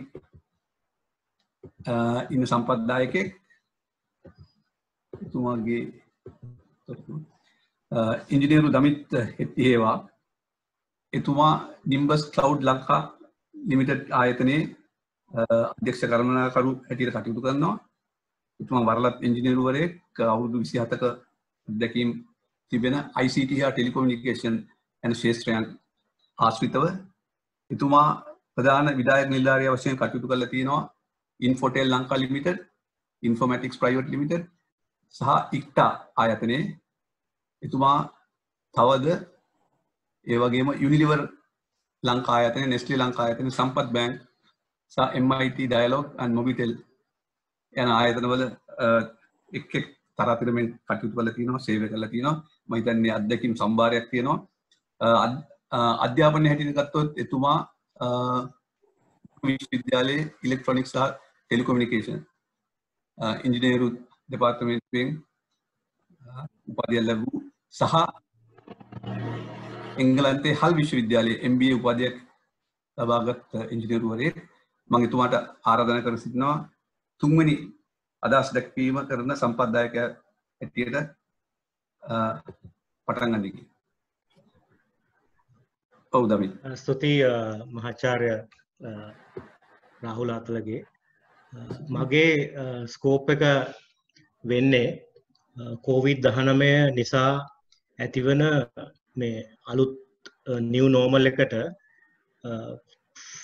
ෆුඩ් වැලියූ චේන් එක මේ මාතෘකාව කිවෙන පරිදි රියලයින් කර ගැනීමේදී ICT තාක්ෂණයම නැත්තන් ඩිජිටල් තාක්ෂණය පාවිච්චි කරන්න කොහොමද කියලා පැහැදිලි කිරිය. ඇතරම ගත්තොත් දැනටමත් බිස්නස් නොට යුෂුවල් ප්‍රත්වයක් තමයි තියෙන්නේ. හුඟක් අය ඔන්ලයින් ග්‍රෝසරීස් ඕඩ කරන්න මේ පහුගේ කාලෙ පුරුදුනා අපි දරුවන් දැන් ඔන්ලයින් ටියවෂන් පන්තිවලට සහභාගි වෙනවා. ඒ වගේම මේ මොනව නැතත් අපි මේ වෙබිනායකත් ඔන්ලයින් තමයි කරන්න. ඉතින් මේ කොවිඩ් දහනමය කළු අලාකුලේ රිදී රේකාව තමයි මේ වැඩි පිරිසක් මේ ඩිජිටල් තාක්ෂණය භාවිතාවම කිරීමට හුරුවීම එසේනම් මෙම කොරෝණ අභියෝගය විසින් ලබාදුන් නාව අවස්ථාව අපිට උපයෝගි කරගන්න පුළුවන්. අර මාතෘකාව කියවෙන පරිදි පාරිභෝගිකයත් රැකගෙන ගොවියත් එක උසවල තියලා මේ අපේ ආහාර දාමය තාක්ෂණය භාවිතා කරලා නව ක්‍රමවේදයකට පරිවර්තනය කරගන්න. ඉතින් අපි මේ මෙම මගේ ප්‍රසන්ටේෂන් එකති බලෝ මොනවද කරන්න පුළුවන් කිය. මම මේ සඳහා බුලට් තුනක් තෝරා ගත්තා මුලින්ම තාක්ෂණය ඩිජිටල් තාක්ෂණය තොරතුර තාක්ෂණය නව ප්‍රවණතා පිළිබඳ කෙටි හැඳින්වීමක් කරන්න. ඒවගේම ලෝකය කොතරම් ඉදිරියට ගියත් අපේ අප ශ්‍රී ලංකාවේ බිම්මට්ට මේ ප්‍රශ්න වෙනස්. අපි පාවිච්චි කරන තාක්ෂණය තාම එක්තරා මට්ටමක තියෙන්නේ. ඉතින් අපිට බිම්මට්ටමට බැහලා බලන්න කොහොමද අපිට මේ තොරතුරු තාක්ෂණය සහ ඩිජිටල් තාක්ෂණය ආදේශ කරගන්න පුළුවන් කියලා. ඒ වගේම අර ඉස්සෙල්ලම සඳහන් කරා වගේ කොවිඩ් දහනමෙන් මේ ඇතිවෙල තියෙන අලුත් ඔපචුනිටිය එක පාවිච්චි කල්ලා මේ ෆුඩ් වැලිය් චේන් එක පලදායි විදිහට රියලයින්මන් කරගන්න කොහොමද කියලා. එතකොට මේ අපි තාක්ෂණය ප්‍රවණතා ගැන සඳහන් කතා කරනකොට අපි දැන් ඉන්න ඇත්තටම හතරවන කාර්මික විප්ලවේ කියල තම අපි කියන්නේ. අපි කාර්මික විප්ලව තුනක් පහු කල්ල තියෙනවා මුලින්ම පළවෙනි කාර්මික විප්ලවය මේ ස්ටීම් එන්ජින් එක. හොයා ගැනීමෙන් ඇතිවෙච්ච කාර්මික විප්ලව වගේම දෙවැනි කාර්මික විප්ලවය විසිවන සියවසේ මුලභාගේ ඉන්ටර්නල් කම්බෂන් එන්ජින් ඔයිල් පාවිච්චි කල්ලා ඇතිවෙච්චේ කාර්මික විප්ලව විශේෂයෙන් එක්සත් ජනපදේ ඒ වගේ තුන්ගනි කාර්මික විප්ලවේ හැත්තෑව දශකය වගේ මේ ඉලෙක්ට්‍රොනික්ස් මත පදනම්ව විදුල් සංදේශ තාක්ෂණය ඉලෙක්ට්‍රොනික් ටෙක්නෝලජි මේ සොෆ්ටයා හාඩ්වය වගේ දේවල් වලින් ඇතිවෙච්ච විශාල පරිවර්තනය ඉතින් අපි හතරනි කාර්මික විප්ලවේ ඉන්නේ ඒක ඩිජිටල් විප්ලවයක් හැටියට හඳුන්වන්නේ අපි බලමු මේ මේකට මේ ස්ටීම් එන්ජින් එක එම නැත්නම් ඉන්ටර්නල් කම්බෂන් එන්ජින් එක ඉලෙක්ට්‍රොනික්ස් වගේ මොනවද මේ අලුත් තාක්ෂණ කියලා කාලය සීමිත නිසා මම මේ පින්තූර වලින් පෙන්වන්න උත්සාහ කරන්න එකක් තමයි මේ ඉන්ටර්නෙට් ඔෆ් තිංස් IoT තාක්ෂණය. ඒ වගේම රොබෝටික්ස් ඉබ්බට ඇඩ්වාන්ස් රොබෝටික්ස් බිග් ඩේටා තාක්ෂණය කෘතිම බුද්ධිය එහෙම නැත්නම් ආටිෆිෂල් ඉන්ටෙලිජන්ස් තාක්ෂණය කලව් කම්පියුටිං කියන තාක්ෂණය. ඒ වගේ මේ ඩ්‍රෝන් තාක්ෂණය සහ මේ ඔටනමස් එකන්නේ මෙම මෙම උපකරණවලට ඔවුන්ටම තීරණ අරගෙන ක්‍රියාත්මක වීමට ඇති හැකියා මේවා තමයි නවතම ප්‍රවණතා. ඉතිං මේ තුළින් ඇත්තටම බලාපොරොත්තු වෙන්නේ ඉතාම විශාල පරිවර්තනයක්. දැන් පළවෙනි ඉන්ඩස්ට්‍රියල් රෙවලූෂන් එකේ මේ යුරෝපය විශාල දියුණුවක් ඇති වුණා. දෙවනි එක ඇමරිකා එක්සත් ජනපදය. තුන්වෙනි එක කොරියාව ජපාන වගේ රටවල් ඇති වුණා. ඉතින් අපි බලාපොරොත්තු වෙනවා මේ අලුත් කාර්මික විප්ලවෙන් නව රටවල් ධනවත් රටවල් බිහිවෙයි දැන් මේ ඊශ්‍රායල වගේ රටවල් ඒක ඉස්සරහින් ඉන්න එස්ටෝනියා වගේ රටවල්. ඉතින් අපි ශ්‍රී ලංකාව තාම ප්‍රශ්නාර්ථයක්. අපි බලන්න ඕනේ කොහොමද කියලා මේකේ අභියෝගය අපි ජයගන්න මම එක උදාහරණයක් ගත්තා. ඇතරම මේකේ මම කියන්න ඕනේ මේ ඊළඟ අවුරුදු තිහ ඇතුළත මේ වෙන මෙගා ට්‍රන්ස්ෆෝමේෂන් එක. මේ භෞතික සහ ජීව විද්‍යාත්මක ලෝකය මේ එකට මේ කැටි ගැහිලා ඩිජිටල් තාක්ෂණයත් එක එකතු වෙලා වෙන ට්‍රන්ස්ෆෝමේෂන් එක. පහුගේ අවුරුදු තුන්සීයම් කාර්යමක විප්ලව තුනේම වෙච්ච වෙනස් වැඩිය විශාල වෙනසක් ඊළඟ අවුරුදු තිහ ඇතුළත වේ කියල තමයි අනුමාන කරන්න. එතකොට මේක තියෙන ප්‍රබලතාවය පෙන්න්න මම එක උදාහරණයක් ගත්ත මේ කෘෂිකාරමාන්තයටත් ෆුඩ් වැලියචයන එකටත් සම්බන්ධ නිසා. සිලෝන් ටී කියන්නේ අපිට තියෙන ගලෝබල් එකම ගලෝබල් නම්බවන් බ්‍රන්ඩ් එක. නමුත් අද මෙම කර්මාන්තය විශාල අභියෝගයට ලක් වෙලා තියෙනවා මේ කම්කරු හිඟිය නිසා. මේ කම්කරු ප්‍රශ්නය විසඳන්න තමයි ඇත්තටම බ්‍රිතාන්‍ය ජාතිකයන් අපිට ඉන්දියාවෙන් මේ මේ ඉන්දියානු ජාතික කම්කරුවන් ගෙනාවේ. නැවතත් ඒ ප්‍රශ්න ඇතිවේගෙන එනවා. මොකද මේ අන්තර්ජාතය සැරි අන්තර්ජාලයේ සැරිසරණ ඒ වගේම අද කොළඹ සුපිරිවල් සල්වලට අපි ගියාම් හුඟක් මේ වතු කරන තරුණු තරුණයෝ අපි දකිනවා කැෂියර් එකේ ඉන්නවා. ඉතින් මේ පරපුර අලුත් පරම්පරාව නම් ආයේ දලු කඩන්න අවුවට යන්නේ. ඒක ඒ එක්කම මේකත් වෙච්ච සියවසක් පමණ සමාජ අස්ථාධාරණයක් වෙලා තිය තිය අපි දන්න දැන් අපිට හැත්ත එකේ කැරැල්ල අසුවාටේ උතුර අවුරුදු තියක ඉතින් මේ සමාජ අසාධාරණය දිගටම තිබ්බොත් කර්මාන්තය සස්තේන බිල්ටික සහ කඩා ඇතිම කෙසේ වෙතත් අපිට නැවත අරවාගේ ප්‍රශ්නකට මුහුණ දෙන්නත් වෙන්න ඉඩ තියෙන ඉතින් මේ කාලය සීමිත නිසා මමාර ඉස්සල සඳහන් කරපු robotic drones IoT image processing මේ ආටිෆිශල් ඉන්ටලිජන්ස් වගේ තාක්ෂණය පාවිච්චි කරලා මෙම කර්මාන්තය සස්තේනබිලිට එකත් මේ සෝෂල් ජස්ටිස් එකත් ඒ වගේම මේක පලදායිතා වැඩි කරගන්න පුළුවන් කොහොමද කියලා මම ඉතාම කෙටියෙන් පෙන්නන්න මං උත්සා කරන්න මේ තියෙන්නේ අර දළු කඩන කම්කරුවා මෙම අලුත් තාක්ෂණය උපයෝගි කරගෙන මේ වායු සමීකරණය කරන කාමරයකට ගෙනල්ලා මේ බ්ලූ කොල කම්කරුවාව අපිට වයිට් කොල එම්පලෝයි කෙනෙක් කරන්න පුළුව ඉතිං ඒ අපි අපිතම මේ ඇත්තටම ලේබ ෂෝටේජ්ක මේ කර්මාන්තය කඩාටන පටන්ගන්න තවුරුදු තුනකින් පහකින් කියල. ඒ වෙනකොට මේ තාක්ෂණය අපි උපෝගි කරගෙන තිබ්බොත් අපිට කර්මාන්තයක් රැකගෙන මෙම මෙම විශාල දායකත්වය අපේ ආර්ථිකට ලැබෙන අපිට මේ කරගන්න පුළුවන්. ඉති මේක විතාම මේ කටු සටහන් මට්ටමෙන් තියෙන නමුත් අපි දන්න මේ රයිට් සහෝදරයෝන්ගේ මෙන්න මේ වගේ චිත්‍රයක් තමයි ඔයි අද ලෝකෙ පුරායන ප්ලේන්ස් බවට පත්වනේ ඉතින් ඒ හින්ද අපිට මේ මෙන්න මේක තමයි මම හිතන්නේ මේ අපේ එනර්ජි මැනේජස් සෝසිේෂන් එක බිස්සස් නොට් ඇස් යුෂුවල් කියලා බලාපොරොත්තු වෙන්නේ මෙන්න මේ වගේ අලුත් වෙනසක් මේ කොවිඩ් අභියෝගයෙන් පසුව අපි අලුත් විදියට හිතලා මෙන්න මේ ලොකු පරිවර්තනයක් ඇති කර ගැනීම කියලා තමයි මම හිතන්නේ. ඉතින් නමුත් ඒ අපි ඒ සිහින ලෝකයෙන් තාක්ෂණය එහෙම තිබ්බට අපේ මට්ටම ගත්තොත් ඇත්තරම අපි බිම් මට්ටමට බැස්සම තත්ත්වය වෙනස්.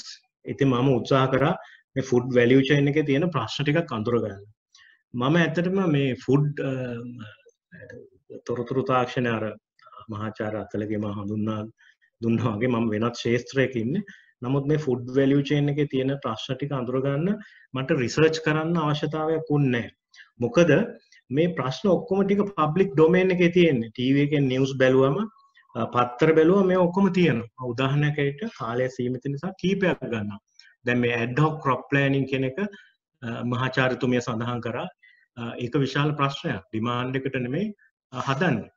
ඊට පස්සේ දැන් වෙද ප්‍රශ්නය ගත්තොත් මෙතන වෙද එකේ මිනිස්සු සම්ප්‍රදායිකව වගා කරන්න මේ සම්ප්‍රදායික දැනුම දේශගුණය පිළිවන් දැනු නමුත් ඒක අද උඩු යටිකුරුවෙන නම ඒකත් එක්ක ලොකු නොගැලපීමක් ඇත්වෙලා තියෙන ඒ වගේ මහිතන ට්‍රන්ස්පෝර්ට් වේස්ටේජ් ස්ටෝරේජ් කැන මහාචාර චමිලා කතා කෙරවා. මම කතා කරන්න යන්න නමුත් මේ මිඩල්මෑන් කියන එක මේ ලොකු ප්‍රශ්නයක් මේ වැලියචේන එක තියෙන මොකද අපි දැක්කාර පොළොන් අරුවේ හාල්මෝල් වටලන්න ගියාම මේ මෙතන කාටෙල්ල එකක් තියෙන එතකොට ඒ අය මේ එකන ගොවිය වවන වෙලේඉඳලම ඒ අයව පාලනය කල්ලා මේ මිල ඔවුන් පාලනය කළ ඒ වගේම අපි දන්න අවමිරිස් කාලෙකට රුපියල් දාහට යනවා. දාහට ගියාම හැමෝම අවමිරිස් වවන ඊට පස්සේ ඕක සීයට බහින තොර හැමෝටම පාඩුවෙලා මේ කළමනා කරණයක් නැතුව මේ යන වැඩ පිළිවෙල නිසා ඇතරම විශාල ප්‍රශ්න මෙම වැලිවචයන එක ඇතුළේ විසඳාගත නොහැකිව හැමදාම කතා කර කරින් නොමිසක් මේ ප්‍රශ්න විසඳෙන්න. ඉතිං මම උත්සාහ කරා මෙන මේ අර මම පෙන්නපු තේකර්මාන්තයට අදාළ විසඳුම වගේ මෙන්න මේ විසඳුම් මේකට මේ තියෙන ප්‍රශ්නවලට මැප් කරන්න. කාලය සීමිත නිසා මම එකින් එකට යන්නේ නැහැ. නමුත් අර මංහිතන්නේ මගේ තේ උදාහරණයෙන් යම් කිසි අවබෝධයක් ලැබෙන් ඇති ඒ තාක්ෂණයෙන් කොහොමද මේ ප්‍රශ්න විසඳන්න කියලා. ඊට පස්සේ මේ සඳහා අපි යෝජනා ඉදිරිපත් කිරීමේදී මෙම නිවනෝමල් එකේ බිස්නස් නොට ඇස් යුෂුවල් විය යුත්තේ මම කල්පනා කරන්නේ මේ ෆුඩ් වැලියචේන් මැනේජ්මන්ට් එක ක්‍රමවත්ම එකැනේ ඩේට ඩ්‍රිවන් ඇඩ්ඩෝක් කරන්න නැතුව සම්ෂන්ස් නැතුව දත්ත මත පදනම් වූ ප්‍රතිපත්ති සැලසුම් කිරීම. ඒ වගේම රියල් ටයිම් ඩේටා මත එම සැලසුම් ක්‍රියාත්ම කිරීමේදී ඇතිවන ගැටලු වලට විසඳුම් සඳහා තීරණ ගැනීම. නිෂ්පාදනය එහෙම නැත්තම් ගොවියා දත්ත මත පදනම් වූ නිෂ්පාදනයක් කිරීමට පාරිභෝගික මිලදී ගැනීමට තර තීරණ කිරීමේදී වඩාත් එකන ඉන්ෆෝර්ම් ඩිසිෂන්යක් ගැනීමට මෙම දත්ත ඔවුන්ට ලබා ගැනීමට පුළුවන්වීම. ඉති මෙම දත්ත පද්ධති අයත් මෙම අපි ගත්තොත් මේ farm profiles crop information land data මේවා එක කෙනෙක් ගාව නැහැ. උදානයකටට ෆාර්ම ප්‍රොෆයිල්ස් තියෙන ග්‍රාම නිල්ධාරිලා. ලෑන් ඩේට තියෙන්නේ ඉඩම් අමාත්‍යංශය වෙන්න පුළුවන්. කොප් ඉන්ෆර්මේෂන් මං හිතන්න කාගවත් ගාව තියෙනොය කියලා. සමහර විට තේ වෙනම ප්ලාන්ටේෂන් මිනිස්ත්‍රීක ඇති. සහල් එලෝලු කෘෂිකර්ම අමාත්‍යංශය ඇති. මාළු ගන්න දීවර අමාත්‍යංශය ඇති. ඉතින් මේ ෆුඩ් වැලියචේන් එකට එක අයිතිකාරයෙක් හදන එක ප්‍රායෝගික නෑ කළයුත්තේ මේ සියලුම දත්ත එක තැනකට ගත හැකි ඩේට එක්ස්චේන්ජ එකක් නිර්මාණය කිරීම. ඒ තුළින් අපිට පුළුවන් ඇඩ්ඩොක් ප්ලෑනිං වලින් ඩේට ඩිවන් මැක්‍රෝ ප්ලෑනිං වලට අලුත් ගමනක් පටන් ගන්න සියලුම ස්ටේක් හෝල්ඩට අවශ්‍ය ඩේට මේ පලට්ෆෝර්ම් එක තුළින් ලබාදෙන් වඩාත්ම වැදගත් කාරණය මංහිතන්නේ මහාචාර චමිලා සඳහන් කර. මේ මේ මිඩල්මෑන් අයින් කරලා පාරිභෝගිකයා සහ මේ කන්සිවම කෙලින්ම සම්බන්ධ කර. දැන් ඒ වගේම මේ මේ වගේ පලට්ෆෝර්ම් එකක් තියෙනවනම් ඩිජිටල් ප්‍රසන්ස එකක් මේ ගොවියගේ නිෂ්පාදකයගේ තියෙන මුළු ලෝකයටම එක විවර කරන්න පුළුවන්. ඒ සඳහා දැන් අපි අලුතෙම්ම පද්ධති හදන්න යන්න ඉස්සෙල්ලා මේ තියෙන පද්ධති මංකුව ග්‍රාම නිල්ධාරි ගාව තියෙන ඩේට අපි ගාව තියෙන නැශනල් ස්පේෂල් ඩේට ඉන්ෆ්‍රස්ට්‍රක්චර් කියලා මේ ලෑන් ඩේට පද්ධතිය ඒ වගේම ඉන්ටිග්‍රේටඩ් වෙල්ෆෙයා මැනේජ්මන්ට් සිස්ටම් කියල එකක් තියෙනවා. ඒක පුළුවන් මේ ගොවියා මේ වගා හානි වුණාම ඔවුන්ට ආධාර ලබා දීමේ ක්‍රමවේදයක් ඇති කරන්න. අපේ රටේ ඕපන් ඩේට පෝට්ල එකක් තියෙනවා. දැන් මේ ඔක්කොම එකතු කල්ලා අපිට සංකලනය කළ මේ අලුත් පලට්ෆෝර්ම එකක් හදාගත්තොත් අපිට පුළුවන් මේ ක්‍රමවත්ව මේ ඩේට මේ ස්ටේකෝල්ඩර්ස්ලට මේක ක්‍රමවත්ම ඩේට රිවන් මේ වැලියචේන් මැනේජ්මන්ට් එකක් කරන්න. එතකොට මම මේ අන්තිම පොයින්ට එකට මේ ෆොරින් ඇක් මාක ටක්සස් කියන එක මේ රුවන්ඩා රජය අලිබබා සමාගමෙන් නිර්මාතෘ ජැක්මා එක එකතු වෙලා ඒ වගේ පලට්ෆෝර්ම් එක ඒ වගේ නිෂ්පාදකයට ලබා දීලති ඉතින් දැන් මේක ක්‍රියාත්මක කිරීමේදී මම කැමති පෙන්නන්න මේකේ මේ ඩේට එක්ස්චේන්ජ එකක් හැදීමේදී මං කිව්වා ඉස්සෙල්ලා මේ මේක තියෙනවා විවිධ ආයතන මේ ඩේට තියෙන. ඒ අය එකතු කරන්න අපිට අතරමැදියෙක්කෝ මේකේ මේක තමයි ඒගවන්මන් ෆ්‍රේම් එක ICT එක ඔබට දකින්න පුළුවන් මේක තියෙන මේ නැශනල් ඩේට ඉන්ටග්‍රිටි අයිඩෙන්ටි ඩේටයන් අයිඩෙන්ටිට ඉන්ටර්පරබිලිටි පලට්ෆෝර්ම් කියලා. එක තමයි අලුතෙන් හදන්න. මේ තමයි මෙන්න මේ කියන අතරමැදිය. එතකොට uh, uh, අපිට ලොකු හැකියාවක් තියෙනවා. මෙන්න මේක ඉක්මට හදාගත්තොත් මේ මං යෝජනා කරපු ඩේට එක්ස්චේන්ජ එක හදාගන්න. Uh, ඉතින් අර මම ඉස්සල්ලා මේ පෙන්නවා බිග්ඩේට කියලා පින්තූරය. එතොට මේ පින්තූරය නිකම්ම පින්තුරයන් නෙමේ කියලා දැන් ඔකට පැහැදිලි ඇති. මේක ඇතුළට මේ තාක්ෂණය ඇතුළත ලොකු කතාවක් පොසිබිලිටස් මේක ඇතුළේ තියෙනවා. ඉතින් අපි කෝවිඩ්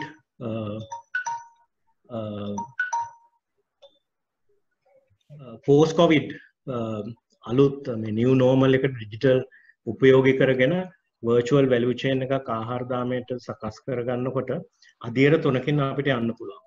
Uh, මේ short term medium term long term කියන uh, පදනම් මත. තොර ෂෝට්ටර්ම් අපිට ප්‍රොජෙක්ස් ක්‍රියාත්මක කරන්න වෙනවා. දැන් තියෙන මඟර කියපු මේ අර ඕපන් ඩේට පෝටල් එක ලංකා ගවන්මන් පේමන් සිිස්ටම් එක ඒ ග්‍රාම නිලධාරි සිිස්ටම් එක නැශනල් ස්පේෂල් ඩේට සහ මේ වෙල්ෆෑමෙන් ඒ වගේ පද්ධති එකතු කරලා ඉමීඩියට්ලිම අපිට ප්‍රොජෙක්ස් හැටියට මේ ක්‍රියාත්මක කරන්න පුළුවන්. ඒ වගේම මීඩියම් ටර්ම් මේ තියෙන අර national data identity interoperability platform කියන එක ඉක්මන්ට හදාගත්තොත් අපිට ඒ තුළින් අර යෝජනා කරපු බික් ඩේට ඩේටක්ෂන්ස් පලට්ෆෝර්ම එක හදාගන්න පුළුවන්. ඒ වගේම දැන්නට අපේ තියෙනවා නැශනල් ඩ්‍රාෆ් ඩිජිටල් පොලිසි එක. ඒක වටා මම යෝජනා කරන්න මේකෙන් මුළු හැම සෙක්ට එක කව කරන්න බෑ.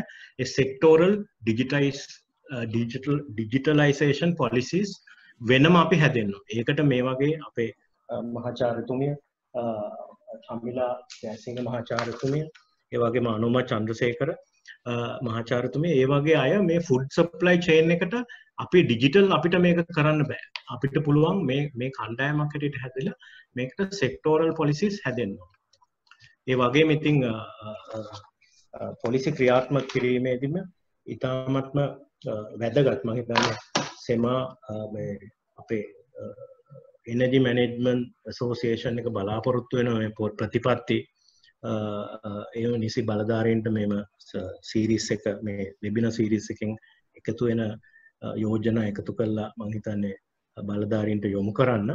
ඇත්තටම පොලිසි ක්‍රියාත්ම කිරීදදී නවතම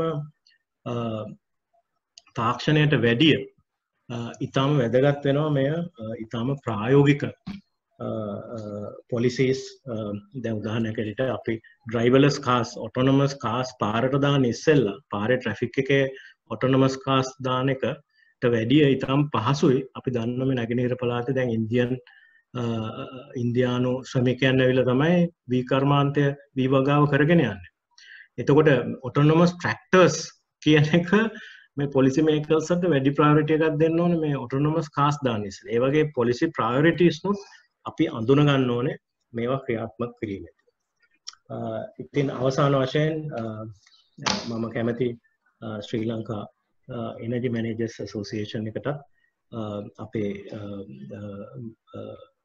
සහභාගය ඔබ සම්මතත් ස්තුතිවන්ත වෙන්න මගේ දේශනය සවන්දුන්නට ඉතින් අපි බලාපොරොත්තුවමු මේ පෝස් කොවිඩ් ෆුඩ් වැලියචේන් එක රියලයින් කල්ලා අපිට සමුෘද්ධිමත් අපේ ගොවි ගොවියකුත් නිෂ්පාධිකුත් බිහිවෙලා මේ අපේ මේසයටත් ඉතාම සාධාරණ මිලකට ගුණාත්මක බවින් ඉහළ පෝෂණයෙන් සපිරි කෑම වේලක් ලැබේ කියලා. තැංක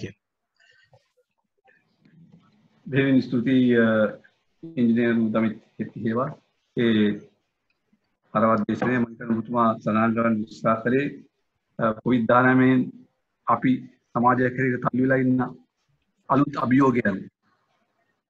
නිව් නෝර්ම් එක කරතේ නැත්නම් බිස්නස් not as usual කියන සීනාරියෝ එක යටතේ ඒ අභියෝගයන් විසඳීමට ඩිජිටල් තාක්ෂණය සහ digital data data driven value chain management කියන සංකල්පය යොදා ගනිමින් ඒ අභියෝගයන් කාර්යක්ෂම ලෙස විසනා ගැනීමට මුණ දීමට කටයුතු කරන්නේ කොහොමද කියන එක අපහසුවේ තැමීමට ඒකට අදහස් දැක්වීමට නැවත වරක් මම ස්තුතිවන්ත වෙනවා.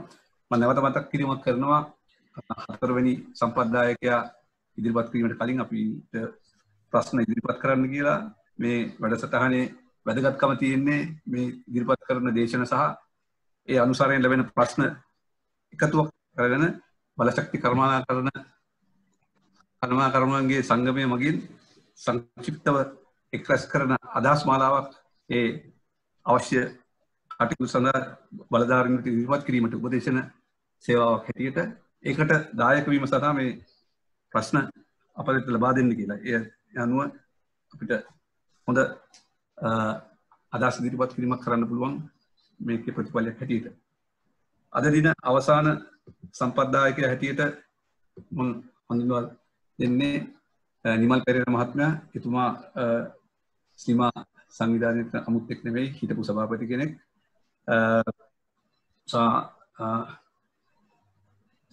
අත්දැකීම් බහුල බලශක්ති කළවනාකරණය කාර්යක්ෂමතාව සහ වායු විමෝචනය පිළිබඳව ලංකාවේ ව්‍යාපෘති ගණනාවකට සම්බන්ධ වෙලා වැඩ කටයුතු කරලා තියෙනවා.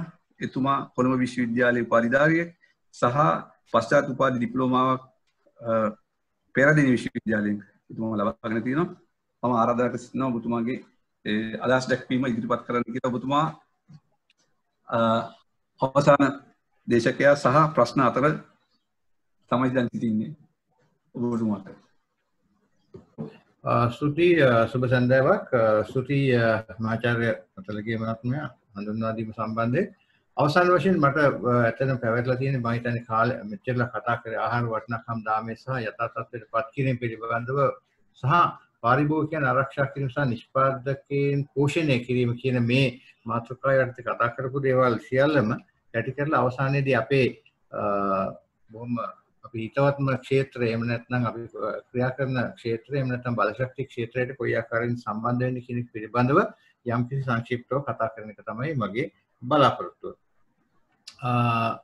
බලශක්තිය ගැන කතා කරොත් බලශක්තිය කියන්නේ ඇත්තටම හැම දෙයක්ම. අපේ ශරීරය ගත්තත් එහෙම නැත්නම් එළවලු මේකෙන් දාලා තියෙන ඇත්තට මේ තුඹ කරවිල. තුඹ කරවිල කියන්නේ ඇත්තටම මේකත් ඇත්තටම බලශක්තිය ගැබ් වෙච්ච යම්කිසි ආහාරයක්.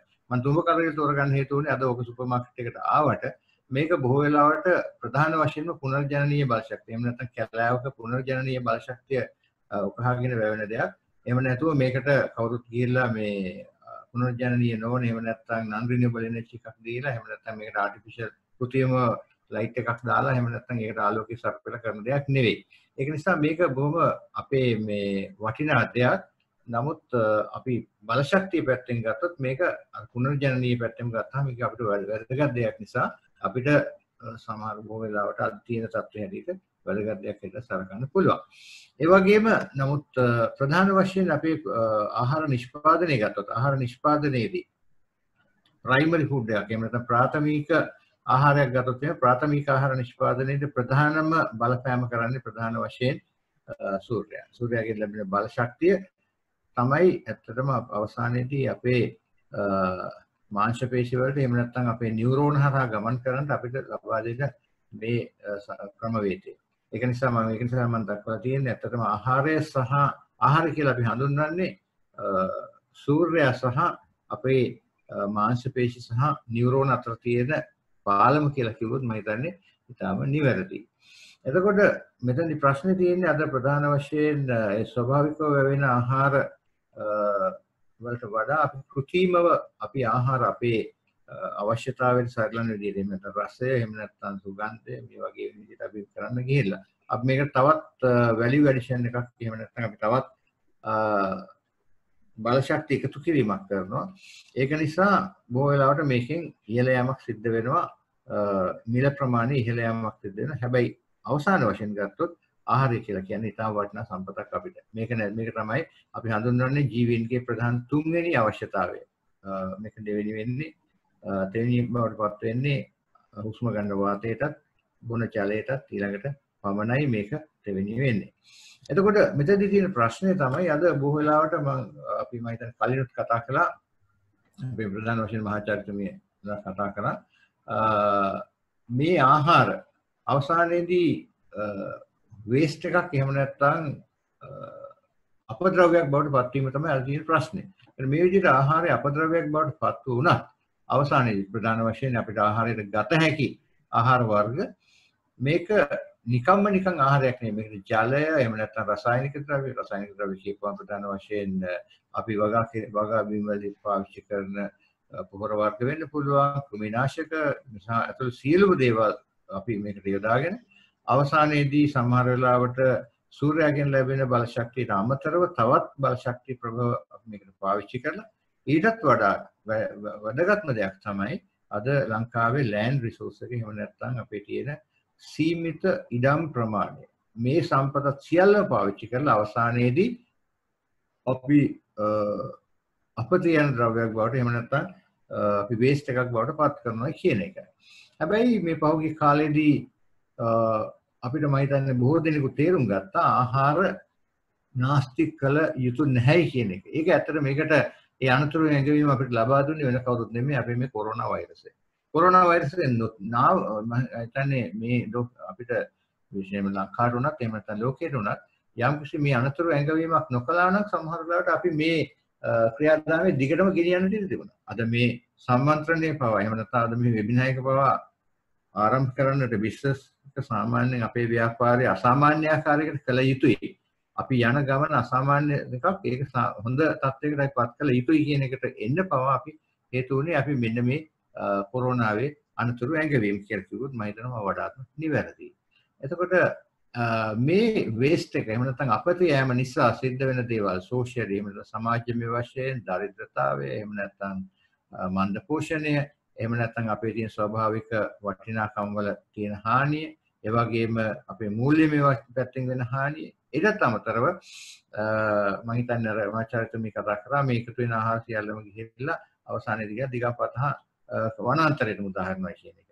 එතනදී තියෙන මොනලාවට තියෙන ඒ පාරිසරික හානිය මම හිතන්නේ මම ඇහෙන් දැකලා තියෙනවා ඒක මොනතරම් අපරාධයක්ද කියන එක.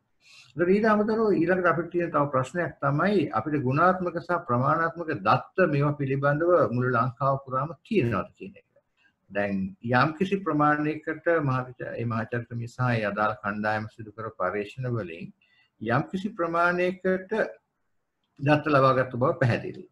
එතකොට නමුත් ප්‍රශ්නේ තියෙන්නේ අපිට මේ සඳහා 100%ක්ම හොඳ වටිනා දත්ත ප්‍රමාණයක් තියෙනවා කියන එක. මේක මම අන්තර්ජාලයේ කරපු යම්කිසි පරීක්ෂණයකින් ගත්ත සටහනක්, ගැලීම් සටහනක්.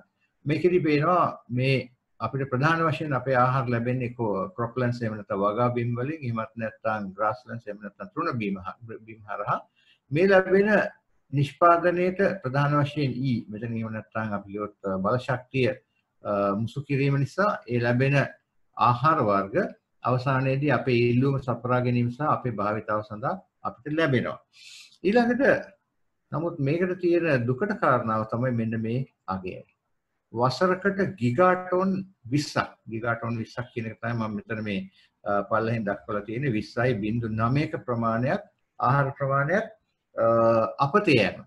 මේක සාධාරණද අසාධාරණද කියලා තීරණයක් ගැනීම මම හිතන්නේ වඩාත් වැදගත් වෙනවා. ඒ විතරක් නෙමෙයි අපිට මේ කොවිඩ් දුන්නු කොවිඩ් වෛරසයෙන් දුන්නු මේ වෝනිං එක එහෙම නැත්නම් මේ අවවාදය මේක ඔස්සේ අපිට අලුත් මාර්ගයකට යන්න මම හිතන්නේ මේකත් තව හේතුවක් වේවි අපි කල්පනා කරලා මේක ඇත්තටම ලංකාවේ තත්ත්වෙ නෙමෙයි ගෝලීය තත්ත්වය.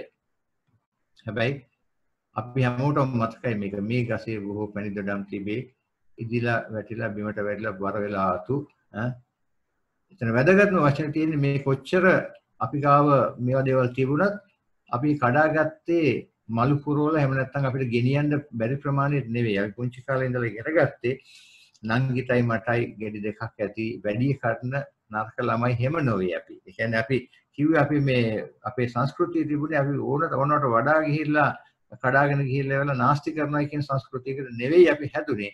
නමුත් මේ කවිය අමතක වෙච්ච මේ තත්ත්වය අමතක වෙච්ච අපි අද බොහෝ වෙලාවට එළවලු වලට කරන්නේ මොකද්ද කියන එක මම හිතන්නේ පැහැදිලි අපි මෙතෙක් වෙලා සවන් දෙකෙන් හිටපු ප්‍රධාන වශයෙන් පළවෙනි දේශන දෙකේදී අපි දැකපු දත්ත වලින්. හැබැයි ප්‍රශ්නේ තියෙන්නේ මේ හැමදේම කරන්න අපිට තියෙන ලොකුම ප්‍රශ්නේ තමයි දත්ත නැති. හැබැයි අපේ බලශක්ති ක්ෂේත්‍රය ගත්තොත් එහෙනම් බලශක්ති ක්ෂේත්‍රයේ දත්ත කියන එක පිළිබඳ ලොකු ප්‍රශ්නයක් අපිට නැහැ. දැන් මේ තියෙන ලංකාවේ බලශක්ති අපි ලබා ගන්නා ප්‍රධාන වශයෙන් පෙට්‍රෝලියම් ඉන්ධන වලින් එහෙම නැත්නම් වෙනත් ක්‍රම වේද වලින් අපි ලබා ගන්නා බලශක්තිය මේ පැත්තේ සැපීම සහ ඒ බලශක්තිය මොන ප්‍රදේශයටද මොනවා අතද අපි පාවිච්චි කරන්නේ කර්මාන්තයට වෙන්න පුළුවන් එහෙම නැත්නම් අපි හිතමු ගුවන් යාන එහෙම නැත්නම් නැව් සඳහා එහෙම නැත්නම් අපේ ගෘහාශ්‍රිතව එහෙමත් නැත්නම් ප්‍රවාහන ක්ෂේත්‍රයේ අනාදී වශයෙන් අපිට හොඳ දත්ත පද්ධතියක් අපේ බලශක්ති කළමනාකරණ විෂයේ තියෙනවා.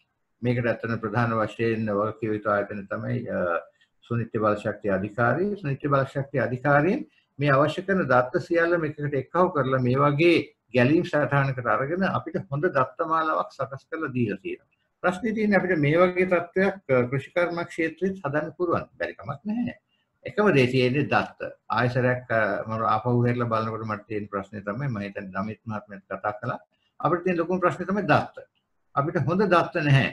එහෙම නැත්නම් දත්ත තිබුණත් සමහරවිට දෙන්න බලාපොරොත්තුකුත් නැති ප්‍රශ්නයක් සමහරවිට තියෙනවා. මේක සරල උදාහරණයක් එක්ක මම කතා කළොත් එහෙම ලංකාවේ අපි බස් කර්මාන්තය අද ප්‍රධාන වශයෙන් පාරිභෝගිකයට අවශ්‍ය නොවන විදිහට පාරිභෝගිකයට යෝග්‍ය නොවන බස් කර්මාන්තයක් අද පාරේ පවතිනට ප්‍රධාන හේතුව තමයි එක්කෝ ටිකට් පතෙන් පිට්‍රය නිකුත් නොකිරීම එහෙම නැත්නම් ටිකට් පත්‍ර ලබා නොගැනීම. මේ ටිකට් පත්‍රය කියලා කියන්නේ ඇත්තටම පුංචි අර මේ ගනුදෙනුවකට කරන ගිවිසුමක් පමණක් නෙවෙයි. ඒකෙන් ඇත්තටම මේ වෙලාවේ මෙතන ඉඳලා මේ අහවල් තැනට ඒ කියන ස්ථානයේ ඉඳලා අපි පිටකොටුවේ ඉඳලා අපි තුන් බොරැල්ලට එහෙම නැත්නම් පිටකොටුවේ ඉඳලා පානතුරට කොච්චර ප්‍රමාණයක් මේ අදාළ කාල සීමාවට ගමන් කරාද කියන එක පිළිබඳව දත්ත රාශියක් අපිට ලැබෙනවා. ඒ දත්ත රාශිය අපිට ලැබුණොත් පමණයි අපිට පුළුවන්කම ලැබෙන්නේ අර රටට අවශ්‍ය කරන මහා ජනතාවට අවශ්‍ය කරන ඔය හොඳ ප්‍රවාහන සේවාවක් ලබා දෙන්න. ඒ හා සමානවමයි මේ කෘෂිකර්මාන්තයේ තියෙන දත්ත රාශිය අපිට හරියාකාරව නොලැබුණොත් මම හිතන්නේ අපිට හොඳ තිරසාර එහෙම නැත්නම් නාස්තියෙන් තොර කෘෂිකර්මාන්තයක් අපිට කරගෙන යන්නට පුළුවන් වෙයි කියලා. එහෙමනම් අපි යෝජනා කරනවන මහිතන යෝජනා ගණනාවක් ඇති අපිට කතා කරන්න මේ තත්ත්වයෙන් මිදෙන්න්නට මේකෙදි ප්‍රධාන වශයෙන් යටි අරමුණක් හැටියට මම ඉදිරිපත් කරන්නේ හැමතිස්සෙම විශේෂයෙන්ම අදාළ දත්ත රැස්කිරීමට උවමනා කරන ඒ පසුතලය අපිට නිර්මාණය වී යුතුයි මේ හැම කරන ක්‍රමයක් කරාම උදාහරණයක් හැටියට මම ගත්තොත් එහෙම අපිට හැම ගොවියෙක් ගාවටම කියලා ඔයාගේ දත්ත දෙන්න කියලා කියන්න අමාරුයි. ඒකේ නිර්වද්‍යතාවය පිළිබඳ ප්‍රශ්නයක් තියෙන්න පුළුවන්. නමුත් ඊට වඩා වෙනස් ක්‍රමවේදයකට මේ ගොවීන්ගේ එකමුතුවක් කරා අපිට ලබා ගන්න පුළුවන් නම් මම හිතන්නේ ඒක ඊට වඩා වැදගත් තත්ත්වයක් කියලා හිතන ආකාරයේ යම්කිසි ක්‍රමවේද කීපයක් අපි යෝජනා කරන්න බලාපොරොත්තු වෙන්නේ අවසාන තත්ත්වය සඳහා.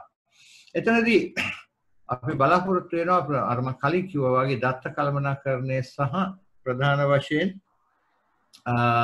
කෘෂිකර්මාන්ත ක්ෂේත්‍රයේ දත්ත කළමනාකරණය ගැන කතා කරද්දී වැදගත්ම වෙන දෙයක් තමයි හැම ආහාර වර්ගයකටම තක්කාලි වෙන්නට පුළුවන්, බූචි වෙන්නට පුළුවන්, ලීක්ස් වෙන්නට පුළුවන් මේ හැම දෙයක් සඳහාම හොඳ ජීවචක්‍ර විශ්ලේෂණයක් සහ ජීවචක්‍ර දත්ත මාලාවක් අපි සතුව තිබිය යුතුයි. ඒ කියන්නේ මෙතනදි පටන් ගන්නේ බීජ වර්ග නිෂ්පාදනයේ ඉඳලා අවසානයේදී ඩිස්පෝසල් එකේ නැත්නම් ඉවත දැමීම හෝ ප්‍රධාන වශයෙන් පාරිභෝගිකයාගේ අතටපත් වෙලා පාරිභෝගිකයාගේ පරිභෝෂණය දක්වාම මේ තත්ත්වය හොඳ ඉතාම හොඳ ඒ ගැලීම් සටහම සටහන් සියල්ලම ඉතා නිවැරදිව හැකිතාක් දුරට නිවැරදිව අපි අඳුනාගත යුතුයි.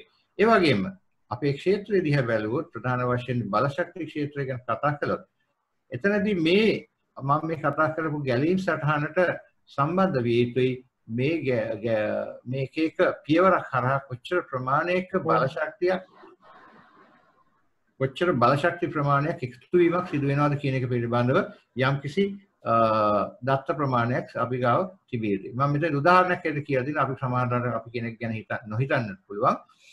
අපි බහුලවද පාවිච්චි කරන යම්කිසි අඩු මීදමකට ලබාගෙන හෝ නොමිලේ ලබා දෙන හෝ මේ යූරියා එක ටොන් එකක් ගත්තොත් එහෙම ඒ ටොන් එකක් නිෂ්පාදනය කිරීම සඳහා ගිගා කැලරිස් 5.2ක ප්‍රමාණයක බලශක්තියක් ඒක ඒක තුළ ගැබ් වෙලා තියෙනවා. ඒකට මේ බලශක්තිය ලබාගත්තේ කොහොමද?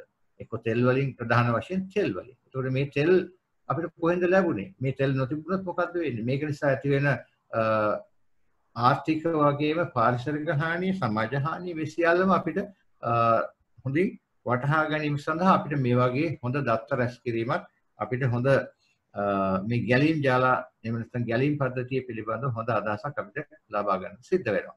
ඒ වගේම අපිට සිද්ධ වෙනවා ෆුඩ් වැලියු චේන් එක. මම හිතන්නේ මේක ගැන ආහාරවල වටිනාකම පිළිබඳ දාමේ වටිනාකම පිළිබඳව ඒ කියන්නේ අපි ගත්තොත් එහෙනම් ෆාම් එකේ ඉඳලා අවසානයේදී අපේ කට ගාවට එනකම්ම අපේ මුඛේ ගාවට ලං කරනකම්ම අපිට මම හිතන්නේ දත්ත යම්කිසි ප්‍රමාණයක් ලැබෙනවා. මේ දත්ත සියල්ලම මේ ආකාරයට ඊටාම හොඳ ගැලීම් සටහනක් එක්ක අපිට මේ දත්ත සියල්ලම එකකට එකක් ගොනු කර තබා ගත යුතු වෙනවා.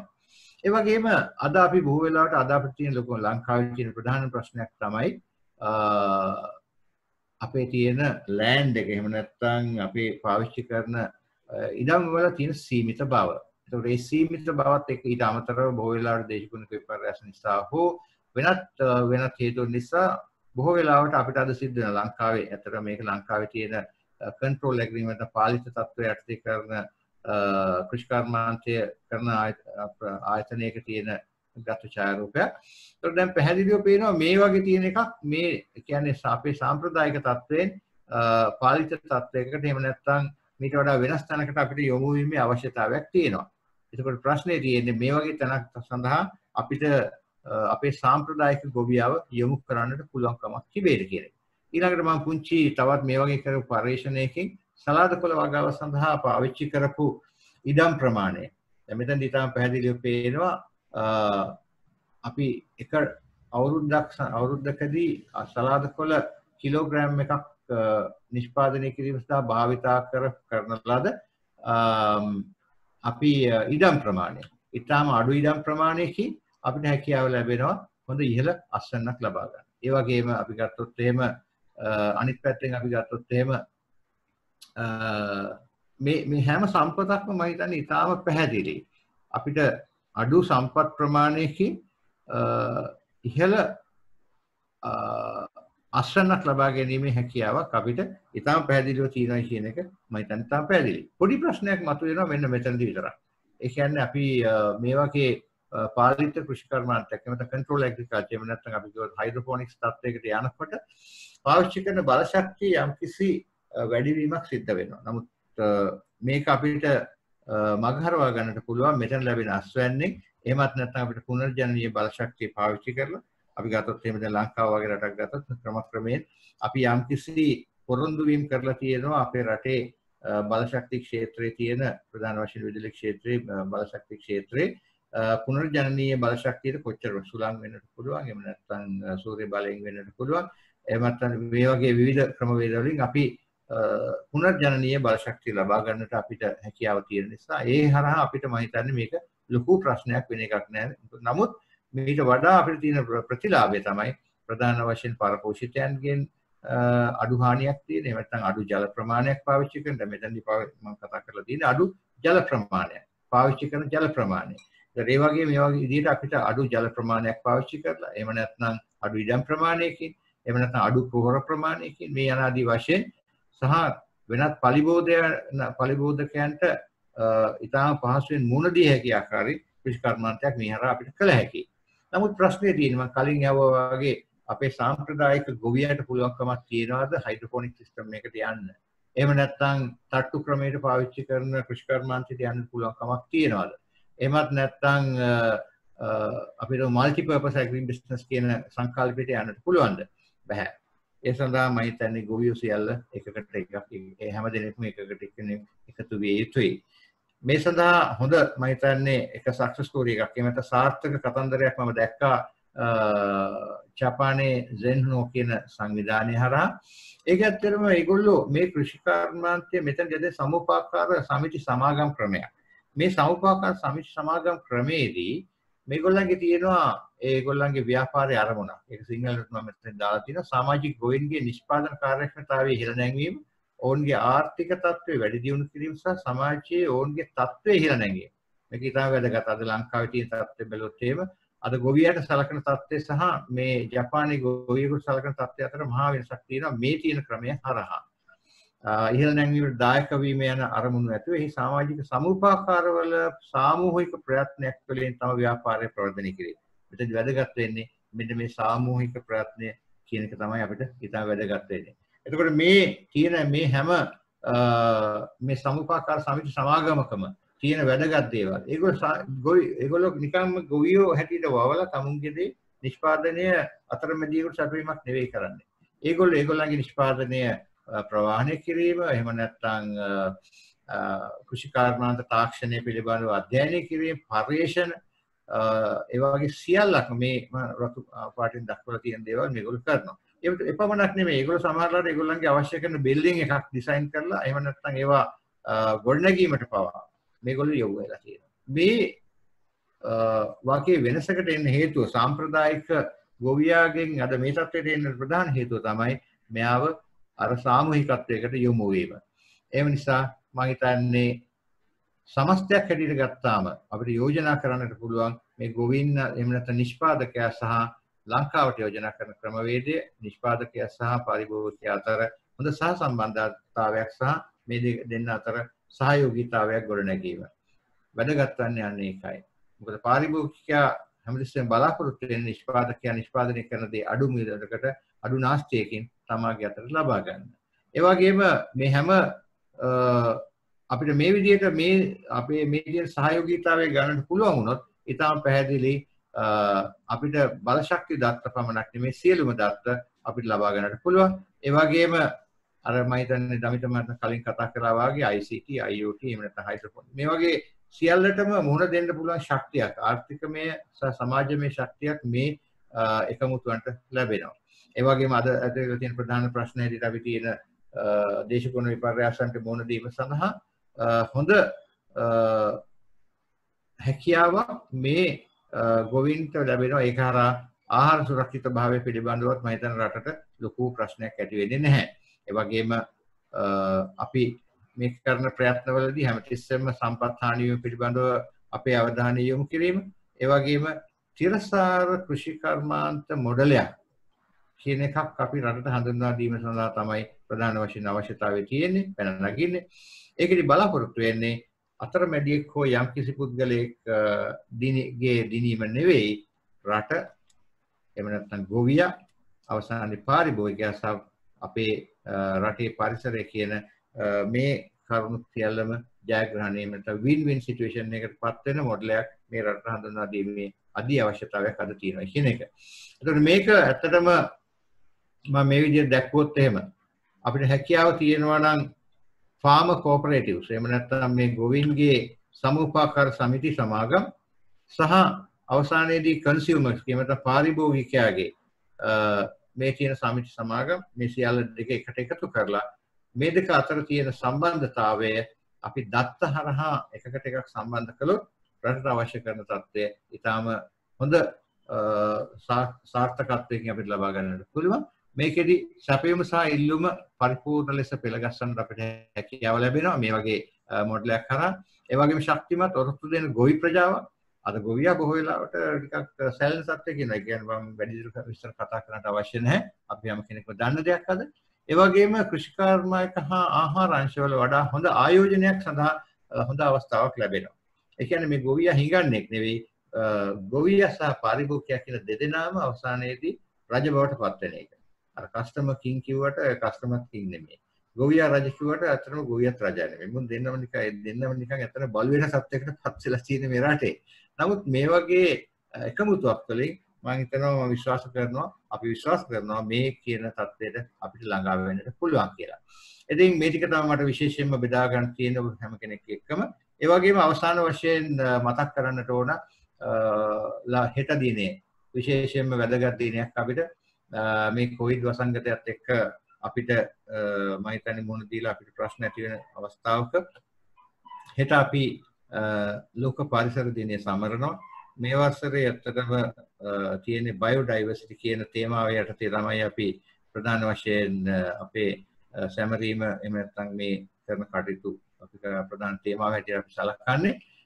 ඒකම මේ කොවිඩ් වසංගතය එනවත් එක්කම කලින් මේක ජෛව විවිධත්වය කියලා නම් කරලා තිබුණත් කොවිඩ් වසංගතයත් එක්කම මේකේ තේමාව පොඩ්ඩක් වෙනස් කළා ටයිම් ෆොර් නේචර් එහෙම නැත්නම් සබා දහමට සවන් දීමට මේ කාලය කියන එක. ඒක නිසා මේ සියල්ලම කරන්නේ සබා දහම් කියන කුඩේ යට ඉඳගෙන ඒ අම්බ්‍රෙලා එක යට ඉඳගෙනයි. ඒක නිසා ඒ විශ්ව පිළිබඳව පුංචි මතක් කිරීමක් කරන ගමන් මම ඉහළ වෙනවා. ස්තුතියි. බෙහෙවින් ස්තුතියි නිමල් පෙරේරා මම හිතන්නේ ඔබතුමාගේ අත්දැකීමෙන් ඔබතුමා පෙන්වන්න උත්සාහ කළේ බලශක්ති ක්ෂේත්‍රයේ තියෙන විශේෂ ගුණාංගයක් වන තිරසාර හා ප්‍රශස්ත පරිභෝජනය මේ අද අප සාකච්ඡාවට බඳුන් කරපු කෘෂිකර්ම ශේත්‍රයට සම්පාත කරන්නේ කොහොමද කියලා ඒ බලශක්ති ශේත්‍රයේ උගත් පාඩම් කෘෂිකර්ම ශේත්‍රයට ළඟින් බැඳී තියෙන ආකාරයට යොදාගන්නේ කොහොමද කියන එක අදහස් දැක්වීම තුළින් ඉදිරිපත් කරන්නේ. මම හිතන්නේ අපි මම මේ වෙලාවේදී මෙහෙවන්න හැටියට අපි සම්පත්දායකින් හතර දෙනාටම බෙවිනි ස්තුතිවන්ත වෙනවා. අපේ බලාපොරොත්තු වන කාලසටහන හැටියටම තමන්ගේ කාලය කල්පනාකරණය කරලා බලශක්ති කල්පනාකරණය කරනවා වගේම ඒ තමන්ගේ අදහස් ඉදිරිපත් කිරීම ගැන. ඒකම මට පැවරෙන ඉතාමත්ම භාරදූර කර්තව්‍යයක්. ලැබී තියෙන ප්‍රශ්න අපේ සම්පත්දායකින් වෙත ඉදිරිපත් කරලා අපේ මේ වෙබ්බිනා වැඩස්ථානයේ බලාපොරොත්තු වන ඒ ඉලක්කය කෙරේ යොමු කරවන්න මේ අදහස් කෝමද සම්පත්දායකින්ගේ අදහස් එක එකට ගලපාගෙන අපේ වෙබ්බිනා වැඩස්ථානයේ ප්‍රධාන අරමුණ වන අදහස් එකතු කරලා මේ බිස්නස් නොට් ඇස් යුෂුවල් කියන සීනාරියෝ යටතේ ඒ සමාජාර්ථික අභියෝගයන්ට අලුත් මුහුණවරයකින් අපි අභියෝගයන් ජය ගැනීමට පිළිතුරු සපයන්නේ කොහොමද කියන එක දැකීමට ඕන කරන ඒ විහය දකිින්ද සූදනම් කරන එකයි. ඒ අවච්ච කටයුතු සඳහා ඊට පස්සේ අපි මංකිවවාගේ මේ පියවර පහකින් කරන වැඩසටහන අද පලවෙනි පියවර ඉතුරු හතරත් එක්ක සම්පාත වනයන් පස්ස සම්පූර්ණ වනයන් පස්ස එක එක ඩොක්කමට හැටියට ගෙනල්ලා එක ඉදිරියට ගෙනියන්න බලාපොරොත්තු වෙනවා. මම උත්සාහ කරන්නම් ලබා තියෙන ප්‍රශ්න ඉදිරිපත් කරන්න. මුලින්ම මං ප්‍රශ්න ඉදිරිපත් කර තියෙන පුද්ගලයක් නම සඳහන් කරනවා. මගේ හැකියාව අනුව උත්සාහ කරන්න බොහොම ප්‍රශ්න ඇවිල්ලා තියෙන ඉංග්‍රීසි භාෂාවෙන්. ඒක පුළුවන් ආකාරයට මේක පරිවර්තනය කරන්න සංක්ෂිප්තයෙන් අවශ්‍ය කරුණු විතරක් ගැන. සමහරවිට මම ඒ කිලිම තුලින් මට ප්‍රශ්නේ තියෙන මූලික අදහස මම වෙනස් කරන්න වෙනස් කිරීමට භාජනය කරන්න තිබ්බ තියෙනවා මම එහෙම කරනවා නම් මම සමාව භාජනය කරලා ඉන්නවා කෙසේ වෙතත් ප්‍රශ්න වලට මූලික පිළිතුරු අපි සංවිධාන සංවිධායක මඩුල්ලමගින් නවත වරක් අධීක්ෂණයට භාජනය කරලා අපි ඒ පිළිතුරු ලබා දෙනවා ඇති. පළවෙනි ප්‍රශ්නය කාටද යොමු කරේ කියලා නැහැ. මම හිතන්නේ අපිට ප්‍රශ්න සඳහා ඉතුරු වෙලා තියෙන හරියටම පැය භාගයක්. මම බලාපොරොත්තු වෙන පැය භාගය ඇතුළත තියෙන මේ ප්‍රශ්න ටික ඉදිරිපත් කරලා පිළිතුරු ලබා ගන්න පුළුවන් වෙයි කියලා. මම ඉදිරිපත් කරන්නම් අපි තීරණය කරමු කාටද මේක යොමු කරන්න කියලා. සම්පත්දායකින් හතර දෙනාට පුළුවන් මේක බලලා උත්තර දෙන්න උත්සාහ කරන්න. නිෂ්පාදන අතිරික්තය කළමනාකරණය පිළිබඳව අධ්‍යයන දත්ත අනුව එක්කෙක් බෝග සඳහා ලංකාවේ සමස්ත ඉල්ලුම් දත්ත සමස්ත ඉල්ලුම් දත්ත අනුව වගා කළ යුතු භූමි ප්‍රමාණය තීරණය කර ගොවි නියාමක ග්‍රාම නිලධාරීන් මට්ටමින් නීති රීති පද්ධතියක් යටතේ නිෂ්පාදනය කිරීම විසඳුමක් ලෙස යොදාගත හැකිද? මම හිතන්නේ මේක යොමු කළ යුත්තේ අපේ මාචාර්යවරුන් දෙදෙනාගෙන් කෙනෙකුට. මාචාර්ය චමිල ජයසිංහ එතුමියට ප්‍රශ්නය මං ඉදිරිපත් නිෂ්පාදන අතිරික්ත කළමනාකරණය ඇත්තටම අත්‍යවශ්‍ය දෙයක් විදිහට අපි දකිනවා ඒක නිසා හරි විදිහට දැන් ඇත්තටම ඊගා ප්‍රසන්ටර්ස්ලත් කරනුවේ ඒ නියම විදිහට ඒවා ලින්ක් කරනවා නම් ඒ කියන්නේ සම්බන්ධ කරනවා නම් අපිට මේ තත්ත්වය අඩු කරගන්න පුළුවන් කියන එක. හැබැයි මේ හැම දෙයකම මම හිතන්නේ ගවර්න්මන්ට් පොලිසිස් සම්බන්ධයෙන් අපිට විශේෂ අවධානයක් යොමු කරන්න වෙනවා. රජ්‍ය මේ සඳහා විශේෂ අවධානය යොමු කරන්න ඕනේ කොයි විදිහට මේක සිද්ධ කරන්න කියන එක. අපේ ඇග්‍රිකල්චර් මිනිස්ට්‍රි එක තියෙනවා. ඉතින් ඒකත් මේ සඳහා සම්බන්ධ වෙලා නියමාකාරයෙන් නියම නියම කියන්නේ නියමාකාරයෙන් මේ කටයුතු ඔරා කටයුතු සිද්ධ ඒ කියන්නේ සිමකාශ කටයුතු සිද්ධ කිරීම නෙමෙයි මේ අතිරික්ත කළමනාකරණය සිදු කිරීම කියන්නේ කොතන කොයි ප්‍රමාණයෙන් මේක වගා විය යුතුද කියන එක පිළිබඳ අවබෝධයක් තියෙන්න ඕනේ. හොඳයි. ඒ කියන්නේ ග්‍රාම නිලධාරි මට්ටමින් මේ අවශ්‍ය කරන නීති රීති පද්ධතිය දැනටමත් ඇත්තටම ග්‍රාම නිලධාරි මට්ටමින් මම හිතන්නේ වගා නිලධාරි මට්ටමින් තමයි මේක සිද්ධ වෙන්නේ. හැම වගා නිලධාරීතුමිය හරිතුමා හරි මේකට ගොඩක් සම්බන්ධ. ඒ නීති සම්පාදනය වෙලා තියෙනවා. මං නීති රීති සම්පාදනය වීම සම්බන්ධයක් නම් මම එච්චර දැනුවත් වෙලා නැහැ මෙච්චර ප්‍රමාණයක් මේක. නමුත් නැත්තේ නැහැ. ඒක ඒ සමහර තැන්වල තියෙනවා මෙච්චර ප්‍රමාණයක් මෙහෙම වගා කරන්න කියලා. නමුත් ඒක හරි විදිහටම සිද්ධ වෙනවද කියන එක ගැන මම හිතන්නේ තාම හරි වෙන්නේ නැහැ. මොකද සමහර ගොවියන්ට අවශ්‍ය විදිහට ඒක ඒ කියන්නේ සමහර සමහර පළාත්වල ඒගොල්ලෝ තමයි ඒක කරන්නේ. ඒගොල්ලන්ට ඉඩ දෙන්නේ නැහැ. ඒ වගේ තත්ත්වයක් තියෙනවා. ඇත්තම ලොකු කල්පනාකරණයක් නැහැ කියන අවබෝධය තමයි මට තියෙන්නේ. හොඳයි. ස්තුතියි. දෙවනි පුංචි එකතු කිරීමක් කළොත් පොඩි එකතු කිරීමක් කළොත් මම හිතන්නේ වැදගත් වෙන්නේ මෙතනදී අර නැවතවරක් මම එන්නේ අර ගොවියන්ගේ සම්මෝපාකාර ක්‍රමය එහෙම නැත්නම් එකට එකතු වීමේ ක්‍රමය කියන එක පිළිබඳව. දැන් උදාහරණයක් හැටියට ගත්තොත් අද ඇත්තටම අපේ පාරට පාරට ගියාම පාරේ තියෙන ප්‍රධාන වශයෙන් පුද්ගලික බස් සේවාවෙන් අපිට නියමිත සේවාව ලබා ගැනීමට නොහැකි වෙලා තියෙන්නේ එක එක එක එක ඉන්ඩිවිජුවල් එහෙම නැත්නම් එක එක තනි තනි පුද්ගලයාට අයිතික අයිතිවාසිකම් තියෙන මේ ප්‍රවාහන ක්‍රමයක් තිබීම නිසා මේකෙම ඔය තත්ත්වයම තමයි අද අපිට මම හිතන්නේ ගොවීන්ගෙනුත් වෙලා තියෙන්නේ එක එක්කෙනා තැන් තැන් වල ඉන්න ගොවියෝ මිසක් අපිට මේ වගේ ගොවියෝ සියල්ලම එකට එකතු වෙලා කරන. එහෙම නැත්නම් පාරිභෝගිකයට අවශ්‍ය දේ මොකක්ද කියලා තීරණය කරන පාරිභෝගිකයා සහ ගොවියා අතර තියෙන සම්බන්ධතාවයේ තියෙන ඒ ගොඩනැගීම සඳහා කරන හොඳ පොලිසි එකක් එහෙම නැත්නම් ප්‍රතිපත්ති රාමුවක් මම හිතන්නේ අද ලංකාවේ නැහැ. අන්න ඒක අපිට හැදුනොත් මේ ප්‍රශ්නේ මම හිතන්නේ ඒ ප්‍රශ්නයෙන් 90%ක්ම අපිට විසඳ ගන්න පුළුවන් වෙයි කියලා මම විශ්වාස කරනවා. මම හිතනවා මෙතෙන්දි ඇත්තටම නියුට්‍රිෂන් ඒ කියන්නේ නියුට්‍රිෂන්ස් නියුට්‍රිෂනල් සිකියුරිටි එක මහාචාර්ය අනුමා සඳහන් කරපු ආකාරයට ඒ පිළිබඳව විශේෂ අවධානයක් අපි යොමු විය යුතුයි. ඒක නිසා ඒකට අදාළ විදිහට අපේ රටේ මෙච්චර සංඛ්‍යාවක් පොඩි ළමයි තරුණ වයස කට්ටිය වැඩි කට්ටිය මෙහෙම ඉන්නවා ඒගොල්ලන්ට මේ විදිහ අවශ්‍යතාවයක් තියෙනවා ඒ අවශ්‍යතාවයට සප්ලයි එක මේ ආකාරයෙන් දෙන්න ඕනේ මේ මේ දේවල් තමයි වගා වෙන්න ඕනේ ඒක මේ නිමා කර යන්න ඕනේ. අනේ ඒ ඒ කෙනෙක් ඒ ලින්ක් එකේ සම්බන්ධතාවය ගොඩනැගීම ඉතා අත්‍යවශ්‍ය විදිහට මම දකිනවා. එහෙම නැති නිසා තමයි ඒ එක එක පළතුරු ඩිමාන්ඩ් එක අඩු ඩිමාන්ඩ් එක අඩු වෙනවා. එහෙම නැත්නම් එතකොට ගාණ වැඩි වෙනවා. ඒ වගේ හරි හරි ගලා යෑමක් සිද්ධ වෙන්නේ නැහැ.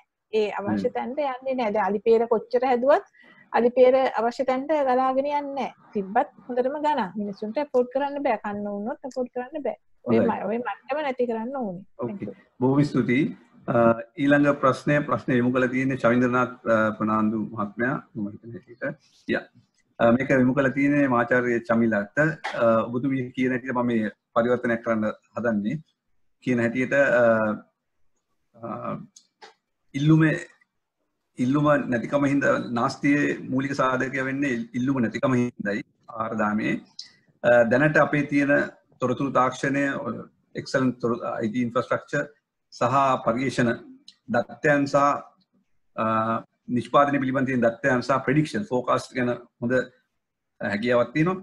මේ තත්ත්වයන් යටතේ ඔබතුමිය හිතන්න නැද්ද මේ මේ කරුණ පිළිබඳව ඒ තොරතුරු තාක්ෂණික දත්තයන් සහ ප්‍රඩික්ෂන්ස් භාවිතා කරගෙන මීට වඩා පර්යේෂණ මීට වඩා මේ ගැන ස්ට්‍රෝං නැත්තම් විදිබත්ව හිතලා පිළිතුරු සොයන්න ඕනේ කියන එක නෙමෙයිද වෙන්න ඕනේ කියන එක. ඒ වගේ අදහසක් තමයි එතුමා ඇත්තටම ඇත්තටම මම හිතන්නේ දැන් අපි මේ තොරතුරු ලබා ගැනීමේදී අවසාන කාලේදී දඹුල්ල හරහා අපි තොරතුරු දඹුල්ල අතිමතයන් තොරතුරු ලබා ගැනීමට අපි හැමදාම එතනට ගියේ නැහැ. නමුත් එතන ඉන්න කළමනාකරුවන් සහ ඒ පිරිස විසින් අපි අවබෝධ කරගත්ත මුලින් අපිට දුන්නේ නැහැ තොරතුරු. පස්සේ ඒගොල්ලොන් අපිට හැම හැම හැමදාම ඒගොල්ලන්ගේ data sheet එක අපිට එව්වා. ඒ තුළ තමයි අපි තොරතුරු ලබා ගත්තේ. ඒක කොයිතරම් දුරට කියන්නේ නිවැරදිව නොවුණා වුණත් යම්කිසි ආකාරයෙන් ඒකේ නිවැරදිතාවයක් තියෙනවා කියලා අපි විශ්වාස කළා. ඒකම ඒකෙන් තමයි උගත් තොරතුරු අපිට අවසාන වශයෙන් ලැබුණේ. ඒ නිසා ඇත්තටම මේ ක්‍රමවේදය හරහා දත් අපිට ලබා ගන්න පුළුවන් වෙනවා. අපිට විතරක් නෙමෙයි ඒ අවශ්‍ය තැන් වලට අවශ්‍ය ප්‍රොජෙක්ට්ස් වලට ඒ දත් ලබා ගන්න පුළුවන්. හැබැයි අර ලංකාවේ මිනිස්සු ටිකක් ඉතින් අකමැති දත්ත දෙන්න. ඒගොල්ලන් හිතනවා මේක දුන්නොත් අපි ටැක්ස් වලට අවුල් වෙයි. අරවද මේවද කියලා. නමුත් කොහොම වෙනට වුණත් මට හිතෙන්නේ මේ දත්ත ලබා ගැනීමට සුසු ක්‍රමවේදයක් අපි සකස් කරන්න ඕනේ. ඒකම දත්ත ලබා ගන්න පුළුවන්. මේ ක්‍රමය තමයි හොඳම ක්‍රමය. IT මොකද එතනට යන්න ඕනේ නැහැ. ඒගොල්ලෝ හරියට අපිට දත්ත දෙනවා අපිට තියෙන කළමනාකරණය කරන්න විතරයි. අවශ්‍ය කරන දත්ත මොනවද කියන එක තීරණය කරන්න අපිට පුළුවන්. හොඳයි. මම මේක ප්‍රශ්නේ තව දුරටත් පොඩ්ඩක් මම එක්ස්ටෙන් කරන්න කැමති අපි දමිත් එත්තිහව මැතිතුමාට අපි ඔබතුමාගේ මේ අදා සිදිරිවත් කිරීම තුළින් දැක්කා මේ ඩිජිටල් වේදිකාව.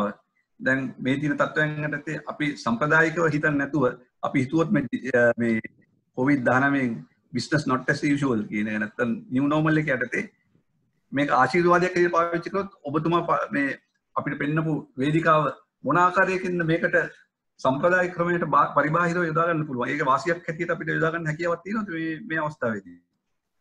ඔව් අනිවාර්යෙන්ම අර මම මුලින් කිව්වාගේ දැන් ඩිජිටල් පද්ධති තිබුණට ඒ කියන්නේ උදාහරණයකට ගන්න මිනිස්සු ඒක පාවිච්චි කරන්නේ. ඒ කියන්නේ හීල් සුපර් මාකට් එකේ ඔන්ලයින් සුපර් මාකට් එක තිබ්බා. කී දෙනාද පාවිච්චි කරේ? ඔව්. එතකොට දැන් ඒගොල්ලන් ඒ වගේ මේ ඩිජිටල් පද්ධතියක් අපි සකස් කෙරුවත් දැන් උදාහනකට මං කිව්වා අර නැශනල් ස්පේෂල් ඩේස ඉන්ෆ්‍රස්ට්‍රක්ච එක. ඒක තියෙනවා.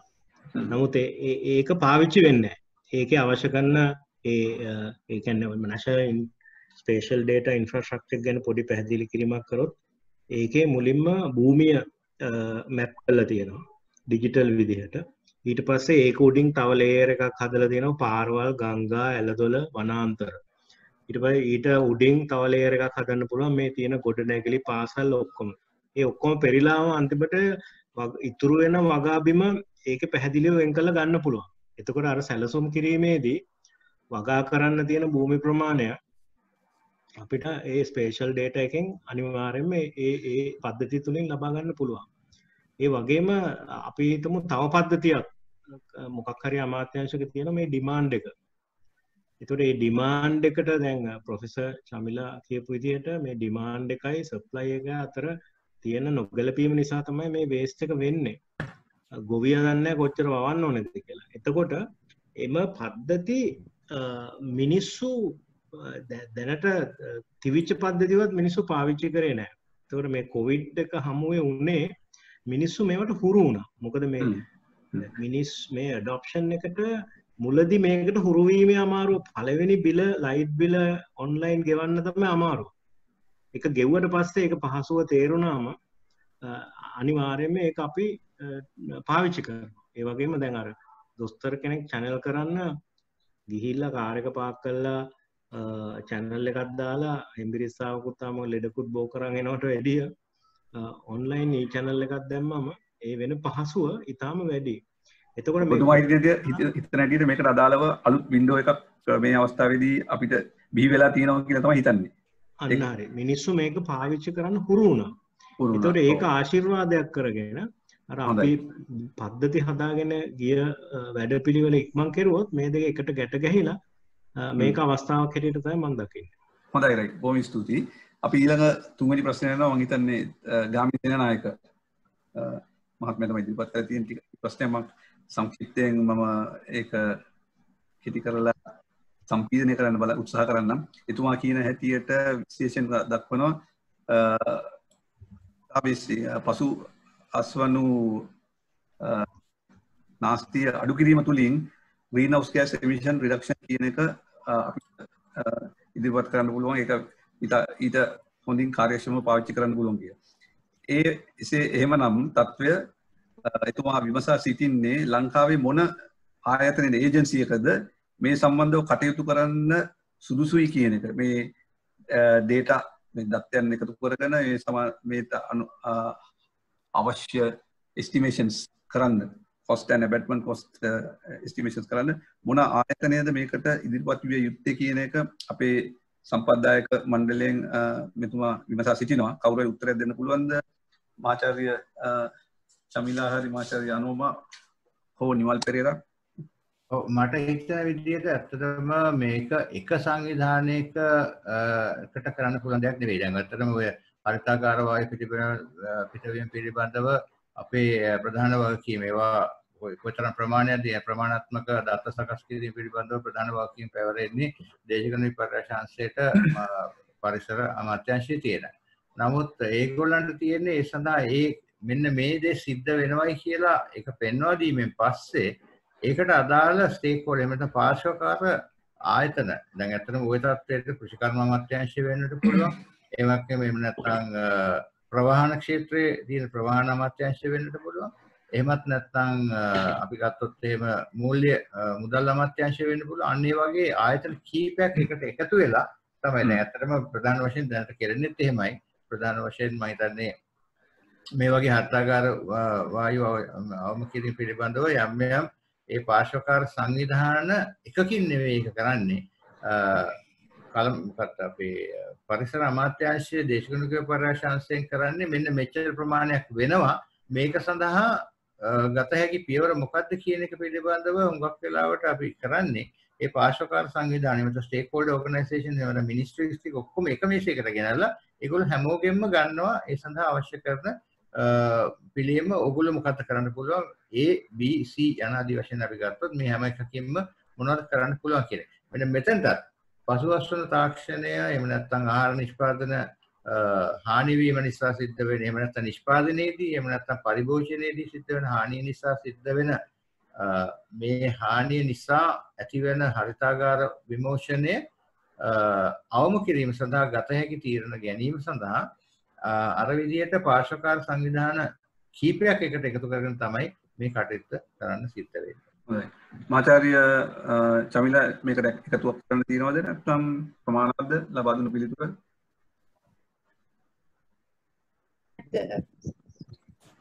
මම හිතන්නේ ඇත්තටම මම හිතන්නේ ඒ- තොරතුරු හරි ඒ- උත්තරය උත්තරේ මම පිළිගන්න මමත් ඒකට තමයි එකඟ වෙන්නේ. එතෙන්දී එක පාර්ශවයක් විතරක් මේකට සම්- සම්බන්ධ වෙලා හරියන්නේ නැහැ කියන එක. මොකද අමාත්‍යාංශ ගොඩාක් තියෙනවා. ඒවල වැඩ කරන ප්‍රොජෙක්ට්ස් වල ගොඩක් කට්ටිය ඉන්නවා. එක දැන් අපි කෘෂිකර්ම අමාත්‍යාංශ ගත්තත් ඒකෙත් නොඑක ආකාරයේ පැතිකඩවල ඒගොල්ලන්ගේ තියෙනවා. එක එක්කෙනා එක එක දේවල් ගැන අ, තමයි කටයුතු කරන්නේ. මම හිතන්නේ ඒ හින්දා විශ්වවිද්‍යාලයවල ඒ අදාළ පාර්ශ්වකරුවන් එක්කත් එකතු වෙලා මේ IT තාක්ෂණයත් යොදාගෙන මේ සඳහා ඇත්තටම ලොකු ඉස්සලම දත්ත ලබාගෙන දත්ත වලින් ඊගාවට කරන්න ඕනේ මොකක්ද කියන එක තීරණය කරගන්න අවශ්‍යයි. දත්ත ලබාගෙනම එතනින්ම සිද්ධ කරනවා නම් අපිට මේ සඳහා උත්තර ලබා දෙන්න පුළුවන්. අන්තික දැන් මේ අපි දැන් කතා කරේ දඹුල්ල සෙන්ටර් එකේ විතරක් නාස්ති වෙන දේවල් ගැන. එතකොට ඊට අමතරව වගා බිමේදී නාස්ති වෙන ප්‍රමාණය ඒතර මේ හැම දෙයක්ම කොහොමද කළමනාකරණය වෙන්නේ කියන එක. අන්තික දැන් එළවලු විතරයි කතා කරේ මේ ආකාරයට ඉතුරු දේවලුත් නාස්ති වෙනවා. ඒතකොට ඒව කොහොමද යොදාගන්නේ? ඊට පස්සේ එක එක ප්‍රොඩක්ෂන් කම්පනීස් වල වෙනම නාස්තියක් සිද්ධ වෙනවා. ඉතින් ඒ වගේ හුඟක් වෙලාවට මේක ලොකු ඇත්තම නෙට්වර්ක් එකක තමයි මේ නාස්තිම සිද්ධ වෙන්නේ. ඉතින් ඒක නිසා අපි අ, මේ සඳහා වඩා කල- වඩා හොඳ ක්‍රියාමාර්ග ගන්න ඕනේ. ඇත්තටම මම ගාව දේට තියෙනවා හුඟක් දේවල් මට ඒක ෂෙයා කරන්න මම කැමතියි. ප්‍රොසෙසිං ඉන්ඩස්ට්‍රි එකේ වෙන ඩේටාත් මං ගාව තියෙනවා සහ ඩබල් ඩේටාත් මං ගාව තියෙනවා. ජීවිතය අවශ්‍ය පා- අවශ්‍ය කෙනෙක් ඉන්නවා නම් මට ඒ data share කරන්න පුළුවන් ඕනම අවස්ථාවකදී ඒ සඳහා පිළියම් හොයන ඕනම කෙනෙක් සමග හොඳයි අ, කෙටි ප්‍රශ්නයක් අහලා තිනවා දයන් ද කම්ස් ආහාරදාමය පිළිබඳව තවත් ලබා ගැනීමට අ, ලබා දෙන්න පුළුවන් අ, අ, උපකාරය මොකක්ද කියලා අහන මොන වගේ තොර- අ, ඒ කියන්නේ තොරතුරු ලබා ගැනීම සඳහා ඔබතුමන් ලබා දුන්න තොරතුරු වලට අමතරව. කොහොමද එතනින් එහාට යනවා නම් එතුමාට උදව් එතනින් එහාට යනවා නම් ඇත්තටම ඔබට දැන් ආහාර දාමය පිළිබඳව මේ මේ සිද්ධිය කියන්නේ දැන් අපි අපි කටයුතු කරපු ආහාර දාමය දඹුල්ල සෙන්ටර් එක හරහා සිද්ධ වෙන දේ ගැන ඔබට අවශ්‍ය තොරතුරු තියෙනවා නම් මට ලබා දෙන්න පුළුවන්. මම කාව තියෙන තොරතුරු ටික මම ෂෙයා කරන්න කැමති ඕනම වෙලාවක. අම් ඒ තමයි උත්තරේ. අහා. Yeah. ඕකේ ඊළඟ ප්‍රශ්නය යොමු කළ තියෙන මම හිතන ඔස්ට්‍රේලියාවේ ඉඳලා මංජුල මහත්මිය මංජුල සිරිවර්ධන. මම පොඩ්ඩක් කරන්නම් හරිද ඒ ක්වෙස්චන් එකක් තියෙනවා අ, එතුමා කියන්නේ දැන් මේ කොවිඩ් කියන අවස්ථාව යටතේ අ, පුරවැසියන් තමන්ගේ ගෙවතු වල අ, ආහාර වගා කරගන්න උත්සාහ කරනවා. ඒ තුලින් සමහරලාට ආහාර නාස්තිය මොකද නිෂ්පාදනයයි පාරිභෝජනය අතර හරියට අ, ඒ දෙක සමතුලිතව යොදා ගන්න බැරි කමක් හින්දා අ, නාස්තිය වැඩි වෙන්න ඉඩ තියෙනවා කියලා. එතකොට ඒ වගේ අවස්ථාවකදී අ, එහෙමනම් අපි large scale farmers ලා export oriented crops වලට යොමු නේද කියන එක. ඒ වගේ අදහසක් තියෙනවා නම් කොහොමද ඒකට තමයි හරිම ඔබතුමන්ලගේ- උත්තරේ වෙන්නේ. ඇත්තටම ඒක තමයි හරිම උත්තරේ වෙන්නේ. මොකද දැන් ගෙවතු වගාව මේ වෙලාවේදී හොඳටම ප්‍රොමෝට් වුණා. එතකොට ඒ ඒ ඒ නිවසේ ඒගොල්ලන්ට අදාළ යම්කිසි අ, පළතුරු ස- එළවලු වර්ග වගා කරනවා. එතකොට ගොඩක් ලාට මාකට් එකෙන් ගන්න ප්‍රමාණය අඩු වෙන්න පුළුවන්. එතනදී අපිට ඊගාව පිළියම තමයි දැන් අපි දැනගන්න ඕනේ කොයිතරම්ක් නිෂ්පාදනය වෙනවද ප්‍රධාන ලාර්ජ් ස්කේල් එකෙන්. එහෙමනම් ඒකට අපි ඊළඟට මොකද කරන්නේ? ඉතින් ඒකට ඇත්තට ඇත්තටම ෆුඩ් ෆුඩ් පර්සිං ඉන්ඩස්ට්‍රීස් වල තියෙනවා. ඒතකොට අපි ඒක එක්ස්පෝර්ට් මාකට් එකට යොමු කිරීමට අ, යොමු කිරීම තමයි කළ යුත්තේ. ඉතින් ඒ සඳහා සුසු ක්‍රියාමාර්ග ගන්න ඕනේ. මම හිතන්නේ එක්ස්පෝර්ට් ඩෙවලොප්මන්ට් බෝඩ් එකට මේ සඳහා ලොකු කැපවීමක් කරන්න පුළුවන් වෙයි. අ, ගොවියාව සම්බන්ධ කරගෙන නැත්නම් ඒ එක්ස්පෝර්ට් එක සම්බන්ධ කර සම්බන්ධ කරගෙන ඒ දේවල් දැන් එතන ඇත්තටම එක්ස්පෝර්ට් ඩෙවලොප්මන්ට් බෝඩ් එකක් මෙතනදී ලොකු රෝල් එකක් ප්ලේ කරන්න අවශ්‍ය තැනක් කියලායි මම දකින්නේ මොකද ඒගොල්ලෝ දැනගෙන ගොඩක් දේවල් යවන්නේ ඒක නිසා. ඒගොල්ලෝනේ හොයලා දෙන්නේ මාකට් එක හොයලා දෙන්නත් ඒගොල්ලන්ගේ කැපවීමක් තියෙන නිසා. ඔව් එතුමා තවත් ප්‍රශ්නයක් අහනවා.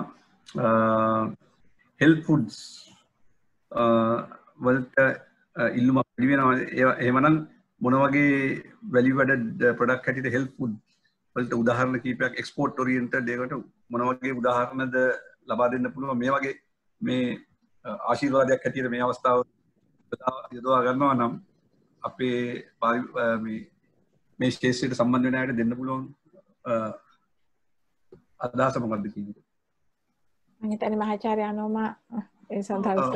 මහාචාර්ය ඇත්තටම- මට හිතෙනවා අපේ රටේ ගොඩක් අන්ඩ යුටිලයිස් එක කියන්නේ තාම වාණිජ වශයෙන් නිෂ්පාදනය කරන්න ගත්තු නැති ආහාර වර්ග තියෙනවා.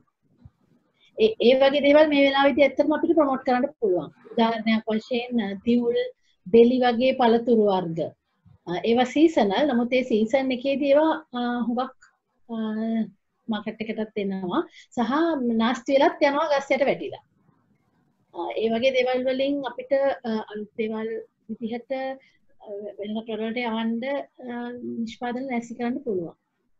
මං හිතන්නේ ඒ වගේ දේවල් අපිට ගන්න පුළුවන්. ඊට අමතරව හර්බල් ඩ්‍රින්ක්ස් ඒ කියන්නේ රණවරා ගෙලිමල් වගේ ඒ වගේ දේවලුත් අපිට මේ වෙලාවේදී මං හිතන්නේ නිෂ්පාදන විදිහට එළියට ගන්න පුළුවන්කම තියෙනවා. ඇත්තටම මම දකින්නේ දැන් ඇත්තටම අපි කතා නොකරපු පැත්තක් අනවා මහාචාර්යතුමිය විදිහට ඉදිරිපත් කරේ දැන් මෙතෙන්දී අපි හැමතිස්සෙම එළවලු වගා කිරීමටම යොමු වෙලා තින්නේ. එක්ක බෝංචි එක්ක ලීක්ස්. එහෙම නැතුව මේම කලාප වලට ගැලපෙන ආකාරයේ ඉමුනිටි ඉමුනිටි ඉම්ප්‍රූව් ඩිවලොප් කරන්න පුළුවන් නොයෙකුත් වෙනත් භෝග වර්ග වලට යොමු වෙන්න ඕනේ මේ වෙලාවේදී අපි හිතමු අපි රණවරා වගා කරනවා කියලා රණවරා මල් ඒකෙන් ගන්න පුළුවන් එහෙම නැත්නම් අපි අපි ඒ ආකාරය කියන්නේ ලංකාවේ අපි ආයුර්වේදික් අපි අඳුරගෙන තියෙන තව හුඟක් වර්ග තියෙනවා. අන්න ඒවා මේලා වගා කරනවා නම් නා ඒකට හොඳ එක්ස්පෝර්ට් මාකට් එකක් ලබා ගැනීමත් අපිට කළ හැකියි. මොකද අපේ පොළ හුඟක් සරු සාරයි. ඉතින් ඒවට පොර මේ කෘමිනාශක දන්න ඕනෙත් නැහැ, පොරය දන්නත් ඕනේ නැහැ. ඒ වගේ තව ඔය තිබ්බටු ඒ වගේ දේවල් වුණත් ඇත්තට මාකට් එකට එන්නේ හරි අඩු වෙන්නේ. ඊගාවට ඒවා ඒවාර අන්ඩියුටිලයිස් කියන යටතේ තමයි තියෙන්නේ. ඒ ලේබල් එක යටතේ තමයි ලංකාවේ තියෙන්නේ. වාණිජ්‍ය නිෂ්පාදනයට ඒවා පාවිච්චි කරලම නෑ තාම. හොඳයි ස්තුතියි තව ප්‍රශ්නයක් තියෙනවා කිරිප මං හිතන්නේ ඔබතුමියලා දෙන්නටම තමයි ලංකාවේ ඇයි නව ශුද්ධ වාරි තාක්ෂණය සහ කෘෂිකර්ම තාක්ෂණය අනිත් රටවල් පාවිච්චි කරන උදාහරණයක් පාවිච්චි කරන ඩ්‍රිප් ඉරිගේෂන් වගේ දේවල්. මේ අවස්ථාවේ උනත් මේ නව නිපයුම් එලි දක්වන වෙලාවේදී ඒ ඒ පැත්තට යොමු වෙන්නේ නැත්නම් යම්කිසි හේතුවක් තියෙනවා කියලා. මහිතන අනොම ඕ ඇතරම ඩ්‍රිපිරිකේෂන් අපේ සමහර පළත්වල ඉතාම සීමා සහිත විදිහට තමයි පාවිච්චි කරන්නේ. ඒක තින මොකක්ද හේතුවක් තියෙනවද? අපි ආවේනික ඒකැන සීමා සහිත වීමටද? ඔව්. මොකද ඒකට ඇත්තටම හේතුව මුල් අවස්ථාවේදී වැඩිපුර අපිට එකට මුදල් ඕන වෙනවා ඒ තාක්ෂණය ඒ භූමියට ඇතුල් කරන්න එතකොට මේ ඒ වගේ දේවල් ප්‍රමෝට් කිරීම ඇත්තටම අවශ්‍යයි මේ වෙලාවේ. මම ඇත්තටම දැකලා තියෙනවා කෙසෙල් වගාවට සමහරවිට අනුරාධපුර පොළොන්නරුව වගේ පැතිවල කෙසෙල් වගාවට පවා ඒවා පාවිච්චි කරලා තියෙන අවස්ථාවල් දැකලා තියෙනවා. නමුත් ඒක හැම ගොවියටම කරන්න හැකියාව නැහැ. එතකොට ඒකට ඇත්තටම ආධාරයක් සහ උපකාරයක්. ඒ කියන්නේ ඔබතුමියලා කියන්නේ ඒකට ඉනිෂියල් ඉන්වෙස්ට්මන්ට් එකක් යනවා. නමුත් ඕවරෝල් ගත්තාම ලොන්గ్ ටර්ම් ගත්තාම ඔපරේෂනල් කොස්ට එක ඇතරම වට කොස්ට අඩුවීම හිද අඩුවෙන් ඊට ප්‍රටක්ටීති වැඩි කරන්න පුළුව එතකොට කියන ලයිෆ් සයිකල් හැටියට බලලා ඒ අධ්‍යයනයක් කල්ලා ඒ ගැන අදස් විමසීමක් කෙල්ල නෑ කියලා. ඒක නිසා වෙන්න ඇති ෆාම් ගැන ගොබියෝ ඒකට වැඩිපුරම යෙදෙන් නැති වෙන්නේ. එතකොට එකැන ඒවල ඒවගේ දේවල් ප්‍රවර්ධනය කරන්න නම් මීට වැඩිය මේ මහිතන්නේ ප්‍රයිවට් සෙක්ටර් එක හරි ගවර්න්මන්ට් එක හරි මේවට ඉදිරිපත් වෙන්න ඕන ඇත්තටම. ඉතින් ගොවියන්ට ඒක තමන්ට තනියමම කරන්න බැරි දෙයක්. දැන්දී ඇත්තට පුංචි එකතු කිරීමක් කරනවා නම් මම හිතන්නේ පැහැදිලි අද අපේ හුඟක් වෙලාවට ගොවියා වුණත් අපේ ප්‍රධාන වශයෙන් නිෂ්පාදකයන් නැත්නම් ගොවියා හැමතිස්සෙම බලන් ඉන්නේ යම්කිසි සහනාධාර ක්‍රමයක් එක්ක ජීවත් වෙන්න. මම හිතන්නේ ඒ ඒ ක්‍රමයෙන් එහා පැත්තට යයිද.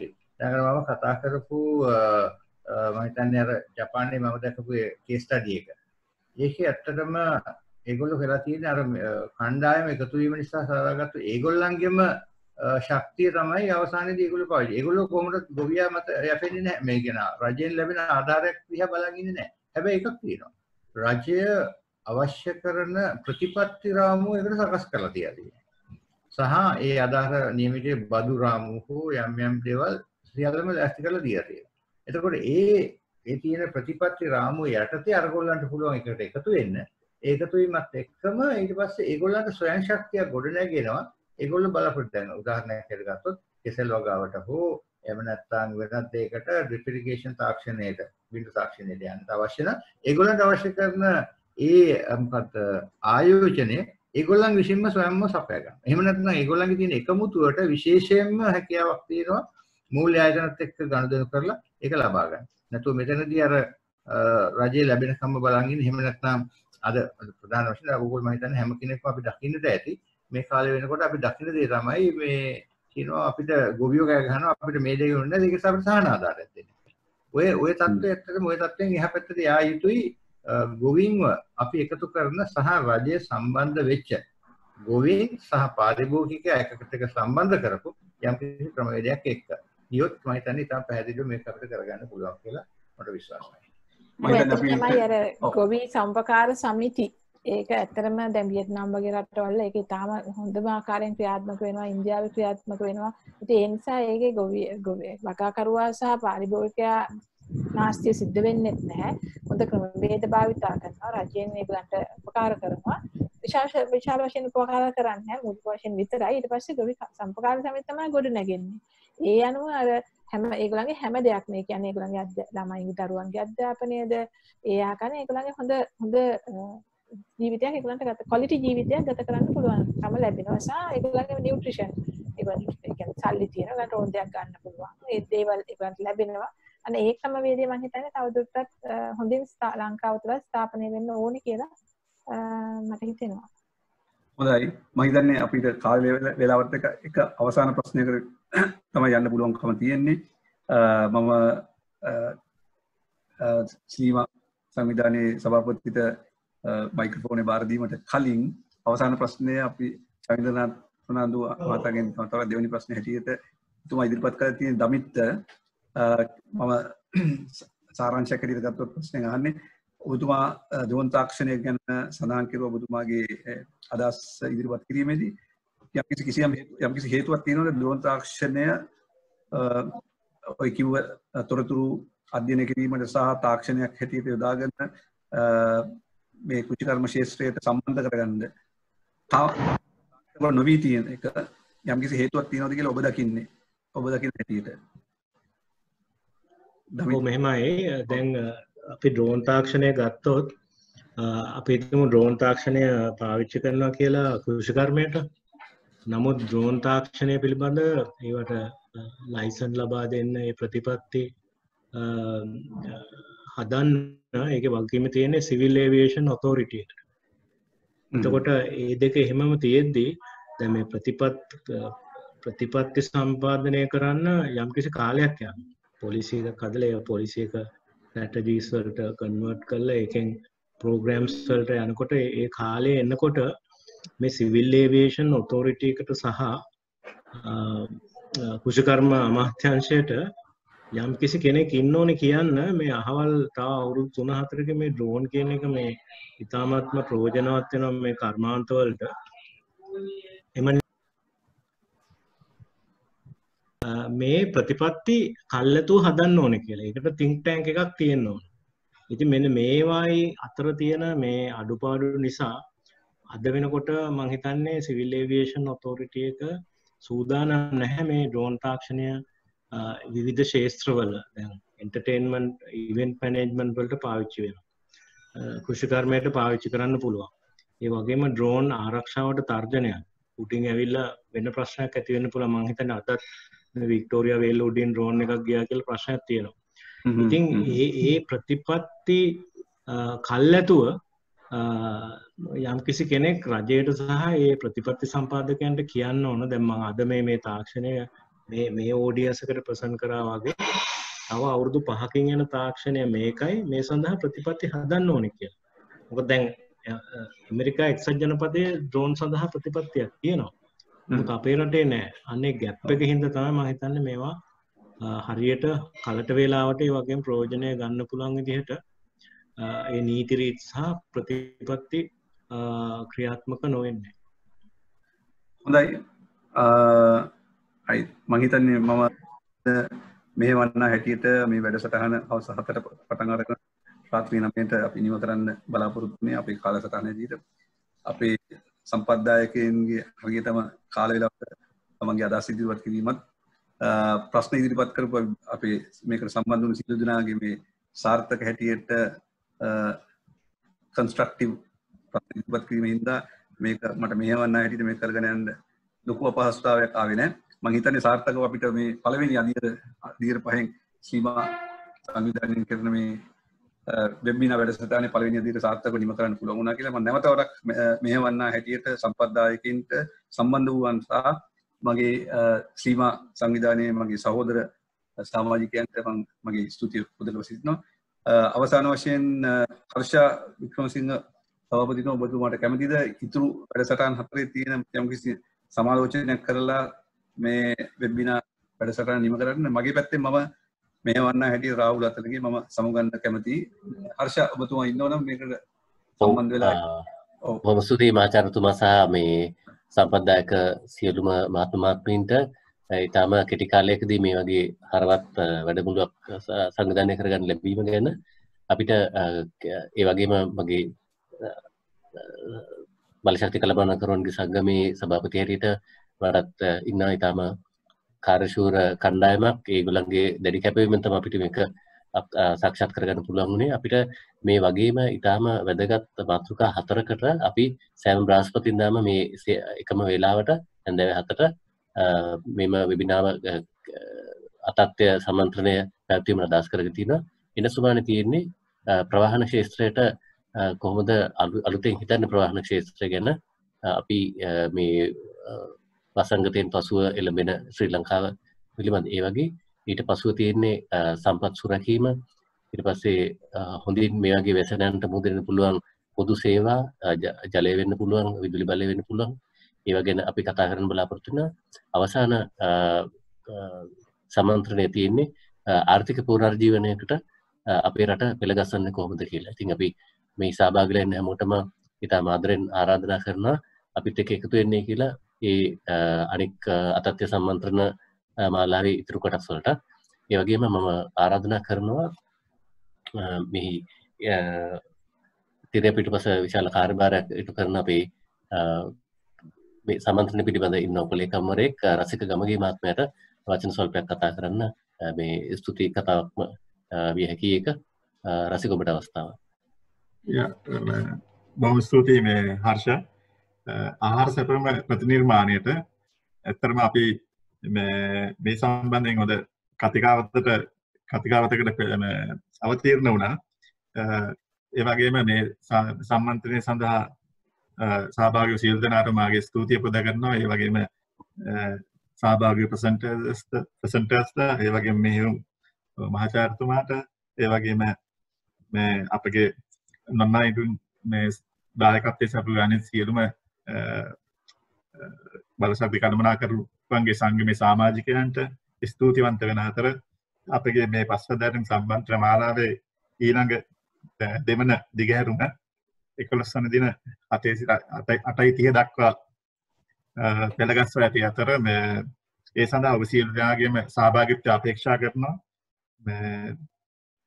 ඔබ සියලු දෙනාටම සුබ රාත්‍රියක් වේවා.